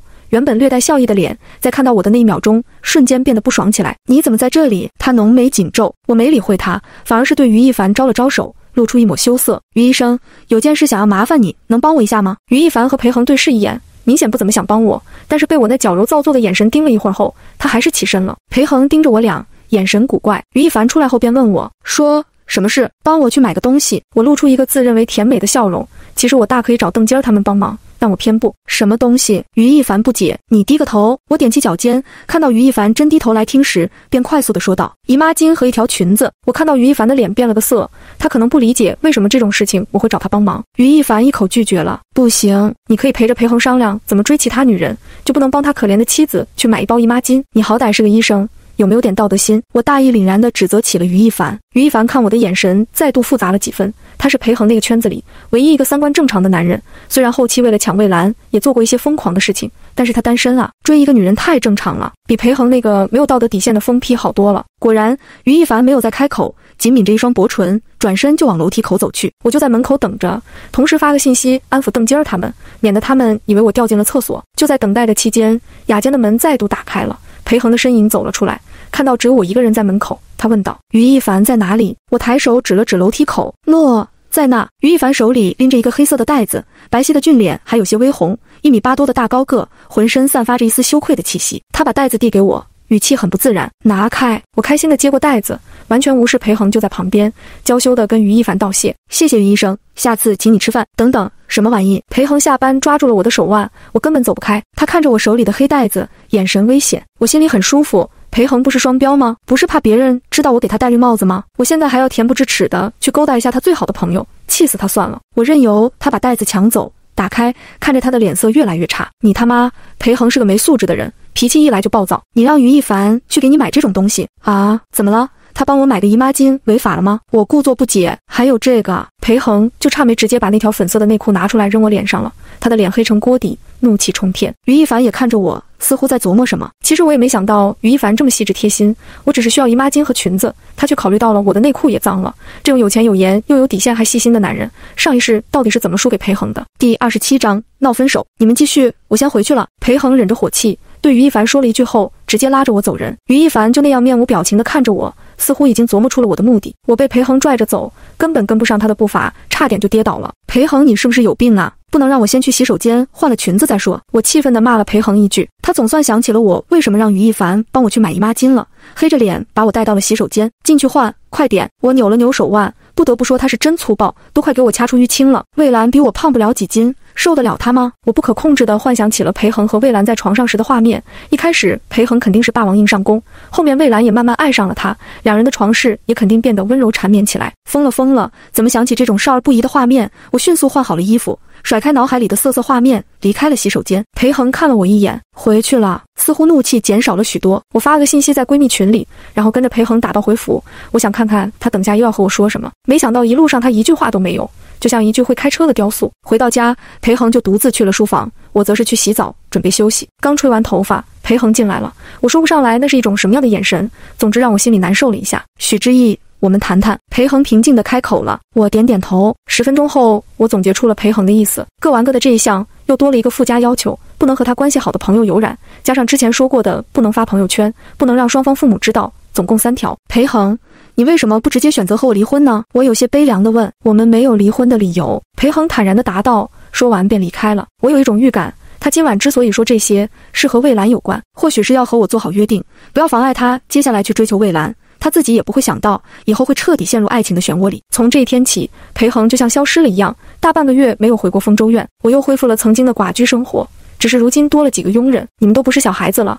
有什么问题要成熟面对，吵架冷战是没用的。午后，我听到刘娥在打电话，她躲在楼梯间下面，声音压得很低。我站在楼梯上，仔细地听着她说了什么。小齐是个不错的孩子，对你也好，你们在一起，我和你爸也放心。不管发生什么事，好好沟通，知道吗？听得出刘娥对齐周阳很满意。难道是魏兰和齐周阳吵架了吗？我心里盘算着时间，这大半个月裴恒肯定下足了功夫，不然怎么这么快就让一对恩爱小情侣吵架？我不想再管了，就这样摆烂到裴恒提出离婚，我爽快签字就好。想到这，我转身就想上楼。夫人，我能请半天假吗？谁知刘娥叫住了我，她十分不好意思地开口：“家里出了点事，需要回去处理一下，您可以扣我工资。”我只好停下来，转过身，居高临下的看着刘娥，又露出了关心的神色。发生什么事了，刘姨？我送你一趟吧。正好我也想出去逛一圈，这怎么好意思？夫人不用您送的，我自己打车回去。刘娥受宠若惊，丰州院附近都不好打车，没事的，你等我十分钟，我换一身衣服就下来。我柔声细语地答道。十分钟后，我载着刘娥离开了丰州院，假意询问了一下刘娥家庭地址后，便直奔目的地。一路上，在我的旁敲侧击下，刘娥和我说了不少魏兰和齐州阳的事情，但是始终不知道这一次他们为什么吵架，连他这个当妈的都不知道，那肯定是难以启齿的原因。在快到小区的时候，我看到了齐州阳的身影，坐在路边的花坛边沿，看起来很落寞。夫人。真是太感谢您了，不嫌弃的话，上我家喝杯茶吧。刘娥感激地说：“不客气，你不是有事要处理，我就不去添麻烦了。快上去吧。”我笑着答道。刘娥又感激了几句后，急匆匆地上楼了。我则是迅速掉头往刚才看到齐州阳的方向赶去。谢天谢地，他还在原地黯然神伤。我整理了一下衣服，然后摇下车窗打了招呼：“小齐，你怎么在这里？”徐姐见到我，齐州阳明显怔了一下。好大的太阳！上车要去哪里？我送你。我爽快地说道。不了，徐姐。我想一个人静静。齐周阳摇摇头，整个人看起来都有一种疲态，似乎没睡好。我直接下了车，一把拉着他往车边走。那也不用顶着大太阳静一静，走，喝酒去。齐周阳没有拒绝，乖乖地坐在副驾驶的位置上，任由我摆布。半个小时后，我把齐周阳带到了堂歌院。来吧，有什么不开心的就唱出来。我开了一间包厢，把麦克风塞在齐周阳手里，大声地说。齐周阳拿着麦克风，突然就哭了起来。眼泪直流，我还是第一次见男人在我面前哭，有点措手不及。徐姐，兰兰要和我分手了，怎么办？齐周阳哽咽着说：“就分手了。”我懵了。上一世我知道魏兰的存在时，是裴恒纠缠了她一年以后，齐周阳确实已经退了场。可是这退的是不是有点太早了？怎么回事？你跟我说说，也许我能帮到你。我稳定心神，沉稳地开口：“昨天我和他一起出去吃饭，意外看到了他手机里的一条短信，有陌生男人给他发暧昧信息，我气炸了。”就和他吵了起来，要他把那个男人的联系方式给我，他不肯，说我不相信他，不如分手算了。齐周阳双手捂着眼睛，声音十分的悲伤懊恼。我不动声色地问：“你看到的那条信息内容是什么？”齐周阳沉默了一会，答道：“我想见你，给我一个机会好不好？”这就是爱情的力量，竟然让裴恒那种高高在上的男人说出这种卑微的话。换做我，恐怕给他下降头都没用。第二十八章。净身出户，裴恒从来没有对我有过好脸色，更别提卑微。经过了上一世的折磨，我总算能接受我不是他的真命天女这件事。可是齐州阳不一样，他又没重生过，根本不能理解，也无法接受魏兰这么冲动的跟他提出分手。他不停地喝酒，想把自己灌醉。我坐在一边同情地看着他，想以上帝视角劝他答应分手，免得接下来被裴恒针对，落得一个更惨的下场。可是我又有点不爽，凭什么裴恒这么快就拆散了他们？徐姐。我真的很爱他，我知道我的家庭情况不怎么样，配不上他，可是我会努力的。齐周阳有点喝多了，开始说醉话。我点点头，嗯，我知道很多人追他的，但他选择了我，我真的好开心啊！我发誓不会让他后悔。可是，可是为什么最后是他变了心呢？我怎么办？我的心都快痛死了。齐周阳红着眼睛说：“太惨了。”我赶紧摁住齐周阳倒酒的手，你也别太伤心了，万一他没变心呢？你想想，那条短信只能说明有人在追他，但是没有追得上。不然怎么会恳求他给个机会？齐周阳摇摇头，颓废的苦笑。这次不一样，以前他也遇到过这样的情况，都会和我坦白，不让我多想。这其中肯定有什么苦衷，他不好跟你说。这样吧，哪天我约他吃个饭，跟他聊聊。我安慰着齐周阳，徐姐，谢谢你。齐周阳挤出一丝笑容，谢什么？大家都是朋友嘛。我拍了拍他的肩膀。过了一会儿，齐周阳已经醉得不省人事了。我尝试着扶着他离开，差点栽倒在地上。好在堂歌院还有开房的服务，我叫来一个服务员，帮我把齐周阳送到了楼上开好的房间里。安顿好他以后，我正准备离开，却听到他的手机响了起来，是魏兰打过来的。我只好接了。阿阳，你在哪里？魏兰的语气有些焦急。魏兰，是我，小齐，现在在堂歌院，你可以过来找他。我答道。徐姐，你怎么？魏兰的语气疑惑。我把和齐周阳相遇的经过一五一十的告诉了他。他沉默了一会儿后，才重新开口：“其实都是我的错，我已经把那个男人的联系方式拉黑了。明天我就换一个新号码。傻孩子，别说换个新号码，你换个新身份都没用啊！裴恒有的是手段。”我试探着问：“魏兰，那个男人是谁？叫什么名字？能告诉我吗？”魏兰犹豫了一下：“徐姐，你等我，我到了再说。”我没急，静静地等待着魏兰的到来，同时发了一条信息给裴恒，提醒他再过两天就是我爸的生日了。按照惯例，他要陪我回去一趟。很快，魏兰赶了过来，看到齐州阳酩酊大醉的样子，他很是心疼。在我的安慰劝解下，他才勉强平复了心情，然后说道：“徐姐，我不能告诉你那个男人是谁，我只能告诉你，他是一个有妇之夫。我不想和他扯上关系。”魏兰的眼睛有些红肿。这两天应该也哭了不少。我问你怎么知道他已婚？你查过吗？我上一世一直觉得很奇怪，魏兰到底知不知道裴恒的老婆是谁，叫什么名字，长什么样子？毕竟以他的身份查一下也不难。但是我和裴恒基本没有合照，我又极其低调，很少露面。网上关于我的照片真真假假也没几张。魏兰擦了擦眼泪，摇摇头，没有，我不可能和他在一起的。查他干什么？而且而且怎么样？我有点着急了，我不敢查。虽然我没有答应他，可是被一个有妇之夫纠缠，我感觉自己很恶心。我知道他有老婆，一旦我查出他老婆是谁，我会更加愧疚，无法面对。魏兰说着说着，眼泪流了下来。这个原因着实让我没想到，仅仅是因为觉得羞愧，所以不敢面对。上一世他也是因为这个原因，所以选择了自欺欺人吗？我沉默了许久，才叹了一口气。好吧，总之不管自己以后做出什么选择，都不要后悔。说完，我便离开了。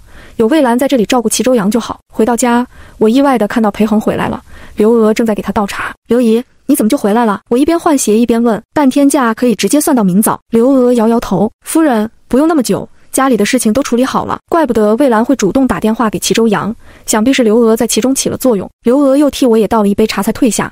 客厅里只剩下了我和裴恒两人面对面坐着，各自喝着茶，久久没有说话。后天我爸生日，记得准备一份礼物。我先开口提醒了一句，我妈说你送了他一对手镯。裴恒反问，嗯，他不是喜欢收集这些吗？正好我有一对紫罗兰，平时也不爱戴，就送给他了。我淡淡的答道。裴恒的视线锁定在我脸上，似乎在探究什么。他翘起二郎腿，身体舒展地靠在沙发上，宽阔的手臂随意地搭在沙发两侧，问：“想干什么？讨好我妈？”我和他对视着，印象中我们从未有过如此之长的眼神对视。送婆婆手镯是为了讨她欢心，让她以后对魏兰更挑剔一点；屡次帮助齐周阳是为了找心理平衡，试图接近于一凡是想隔应裴恒。这些都是我心里的小九九，成功与否都无所谓，因为我从来没打算要逆风翻盘。儿媳妇讨好一下婆婆，不是很正常的事情吗？我一脸的问心无愧。裴恒，你不用怀疑我在耍什么把戏，你只需要知道，如果现在你想离婚，我可以马上签字，给你百分之三的股份。裴恒眼神凉薄，还是觉得不值吗？我意味深长地问。裴恒眯了眯眼眸，眼底的意味我看不懂。沉寂了一会儿后，他的回答一如既往：“别做梦了，这家伙难道考虑了一会儿，发现魏兰还是不值这个价吗？追了大半个月，都快把人家小情侣弄得分手了，结果自己心意还没明确。如果我净身出户呢？”我凝视着裴恒，声音很轻：“第二十九章。”告诉于一凡，零二九裴氏百分之三的股份对我来说确实很有诱惑力，但是净身出户我也不会饿死，反而能早点脱离接下来的纠葛，奔赴美好生活。不能，裴恒的回答干脆，实在让我很意外。你就没想过我的存在以后会耽误你追求真爱吗？我忍不住提醒裴恒，追了魏兰大半个月了，他应该发觉了不一样的地方吧？以前那些女明星之类的，他从来没这么费过心思。裴恒眼皮低垂，不知道在想什么。半晌，淡淡答道：“不会，真是不到黄河心不死，不撞南墙不回头。裴恒那么聪明的一个人，怎么在感情上面这么迟钝？”我悠悠地叹了一口气，什么都不想再说，起身上楼休息。第二天，我收到了齐周阳的信息：“徐姐，我和兰兰和好了，谢谢你对我们的开解，下次请你吃饭。”我思索了一下，没有回复，心里想的却是裴恒又要心情不好了。洗漱完毕后，我便下楼准备吃早餐。裴恒已经坐在沙发上，神色看起来不太高兴。刘姨。今天早上吃什么？我略过他，直接朝着餐厅走去。吃三鲜面，昨晚做了一些卤蛋，夫人喜欢吃的话，加一个在上面，很香的。刘娥一边回答一边盛面，又替我准备了熬好的燕窝和一些切好的水果。我食指大动，坐下来就开吃。不一会儿，裴恒也在我对面坐下，刘娥替他也准备了一份一模一样的早餐。吃着吃着，裴恒的手机响了一声，他看了一眼后，脸色以肉眼可见的速度黑了下来。才吃了两口的三鲜面，被他随意的推开。起身就走，明天上午九点去我家，别忘了。我提醒了一句，裴恒没理我，身影快速消失在偌大的客厅。刚才那条信息很可能是魏兰的，而且内容让裴恒非常不舒服，否则他不会这么大反应。我看了一眼在收拾厨房的刘娥，魏兰有没有告诉他关于自己被有妇之夫追求的事情呢？那个有妇之夫刚走，刘姨，我出门了，中午不回来吃饭。我交代了刘娥一句，便也匆匆出门。我约了一个全身体检，之前是主要检查乳腺。不够全面，身体是革命的本钱，我必须重视。在医院里折腾了大半天后，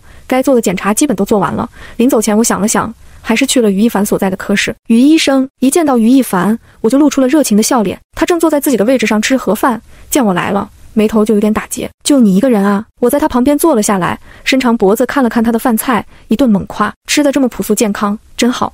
我一直觉得你和裴恒他们那群人不一样，他们一群纨绔公子，你是淡如水的君子。于一凡瞥了我一眼。神色冷淡，又想干什么？利用我刺激裴恒？果然上次被他看穿了，心累。我默默地掏出手机，我给你看的东西。我翻出了齐周阳的朋友圈，他的背景图就是他和魏兰的合影，蓝天白云下，两人手牵着手，对着镜头笑得又傻又幸福。你认识这个女孩子吗？我问，眼睛则是一瞬不瞬地盯着于一凡的反应。于一凡看了几秒钟，眼里闪过一抹异样，却不是那种一见钟情惊艳的眼神。不认识，但是她的男朋友。就是齐周阳。于一凡的注意力原来是在齐周阳身上，我愣了愣。虽然照片没有真人有灵气，但是上一世于一凡对魏兰的疯狂丝毫不少于裴恒，哪怕是张照片也应该有所触动吧？难不成真是在后来的接触中才爱上的魏兰？早知道当时合作时就多问一问，现在也就不那么迷茫了。对我调整了心态，有些无奈地继续说道：“裴恒有没有告诉你，这就是他在追的女大学生？只知道有这么个人，具体不知。”于一凡眼神一深：“你怎么知道的？就算是那天在茶楼听到了几句，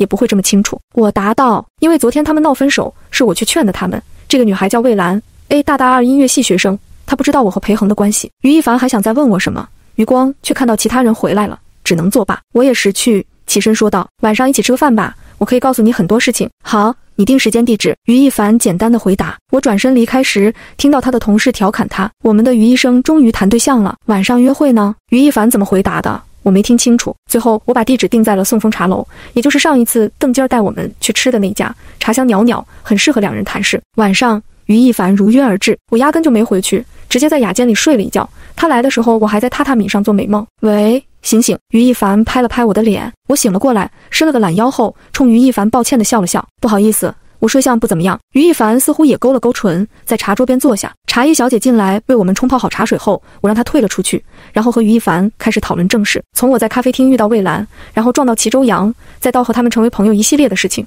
我都告诉了于一凡。然后感叹无巧不成书，我也没有想到裴恒会喜欢上他。所以现在的情况是，你知道裴恒和魏兰以及齐周阳的关系，而他们都不知道你的身份。于一凡总结了一下，嗯，我点点头。为什么不直接挑明？于一凡盯着我问，你不了解裴恒那个人吗？我反问，挑明有什么用？他会因为我而放弃魏兰吗？不会的，哪怕我拼命的去阻拦、去反对，也挽回不了他的心。他从来没有喜欢过我，我连旧爱都算不上，怎么去和新欢比？说着说着，我激动了起来。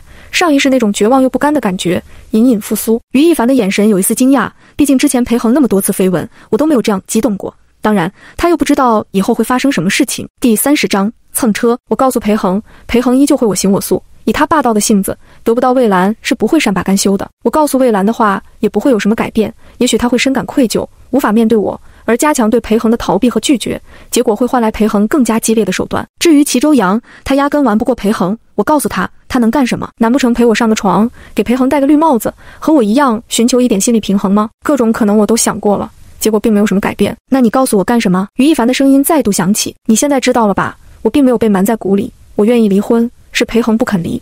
我心底有一丝丝苦涩，我希望你不要再劝阻他。于一凡是最了解我有多喜欢裴恒的人。他和裴恒一起长大，自然也见证了我的十年。突然听我说出这些话，他似乎不能接受，神情异样。你确定？我用力的点点头。我确定。于一凡沉默了许久，我不知道他在想什么。直到分别时，他才说了一句：“你想开了也挺好。以前是我太执着了，以为念念不忘必有回响。”于一凡作为旁观者。最清楚这场婚姻是我的一厢情愿。回去的路上，我感到前所未有的轻松。终于有其他人知道我已经放下裴恒了。我哼着小曲回到了家，泡了个澡，美滋滋的睡觉。由于要回去给我爸庆生，所以我第二天起来的比较早，准备好了礼物以后，我发了个信息给裴恒，记得今天去我家。上一世的今天，裴恒没有出现，我还给他找了一个借口，说他工作太忙。如今他也很可能不会来，但我不想再给他找借口。爸，生日快乐！一到家，我就抱住我爸。给他的老脸亲了一口，我妈在一旁看着，笑道：“怎么来的这么早？吃了早饭吗？吃了。你当我请的佣人是干嘛的？”我挽着我爸的手臂，在沙发上坐下，笑嘻嘻地答道：“怎么就你一个人？裴恒呢？”我爸一看门外没人再进来，立马就不高兴了，老脸一拉。我看他是越来越过分了，我讪讪地笑了笑。不说话。按理说，以我爸的身份，今天会有很多人上门庆生。但是他这人比较正直，不搞那一套。每年生日就是在家和家人一起过。他就我一个女儿，所以心里还是希望裴恒也能来，起码热闹点。没想到今年裴恒居然影子都没有见到。正当我爸妈开始吐槽裴恒时，我的余光看到门口出现了一道高大修长的身影，手里还拎着礼物。我一把捂住了我爸的嘴：“爸，裴恒来了。”我爸说到一半的话被我捂了回去。他看了一眼门口，脸色略微尴尬：“小裴来了呀。”怎么不进来坐？我妈从厨房出来，看到裴恒后挺欣喜的。裴恒客气地笑道：“刚到。”他走到了我和我爸对面坐下，灰色的条纹马甲衬衫穿在他身上，十分的英俊金贵。爸，生日快乐！这是我的一点心意。裴恒把带来的礼物摆在了桌子上，看起来是一盒茶叶。我爸从政，送奢侈品肯定不合适，穿在身上不符合清廉的风气。他就好喝茶，裴恒这一点很聪明，对了他的性子。当着裴恒的面，我爸不好直接拆了包装。只是笑呵呵地说：“你能来，我就很高兴了。还带什么礼物？我平时工作忙，很少来看望二老。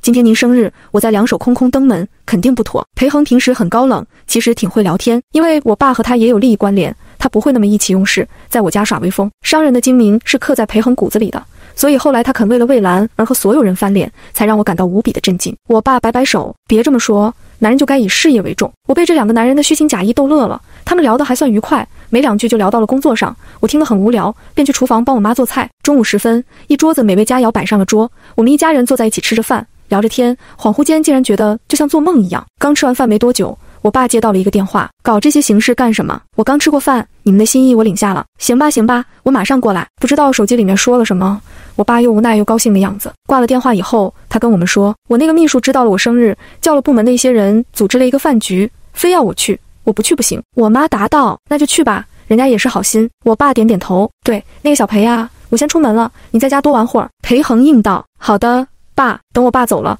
裴恒没待几分钟，便跟我妈告辞，说是要去公司。我一听，立马就跟了出去，一屁股坐在了他车子的副驾驶位置上。你干什么？裴恒冷冷地问。带我一程。我一边系安全带，一边厚着脸皮答道：“我的车子让小李开去保养了，打车回去挺麻烦。”裴恒紧抿着薄唇，眼神不悦。他肯定是不想送我，但是在我家门口又不方便撇下我。最后他还是顺了我的意，先开车送我回丰州院。在车上，我闻到了一股淡淡的香味，很像魏兰身上的味道。难道今天早上他还坐过副驾驶吗？他不是跟我说会拉黑裴恒吗？怎么又见面了？我心里十分困惑，总觉得有哪里不对劲。莫非齐州阳的脑袋上真的快变成青青草原了？以魏兰的性格。应该不会这么快就接受裴恒，不然上一世裴恒怎么会那么疯狂？就是一开始得不到，才觉得稀罕，再慢慢的真正爱上。我从包里拿出一支口红，悄无声息地塞进了座位旁边的间隙里，再把座椅往后调了一个不小的弧度。如果魏兰再次坐上裴恒的车，肯定会调座位，会摸到那支口红。我睡会儿，我眯着眼睛，随意地勾着双腿，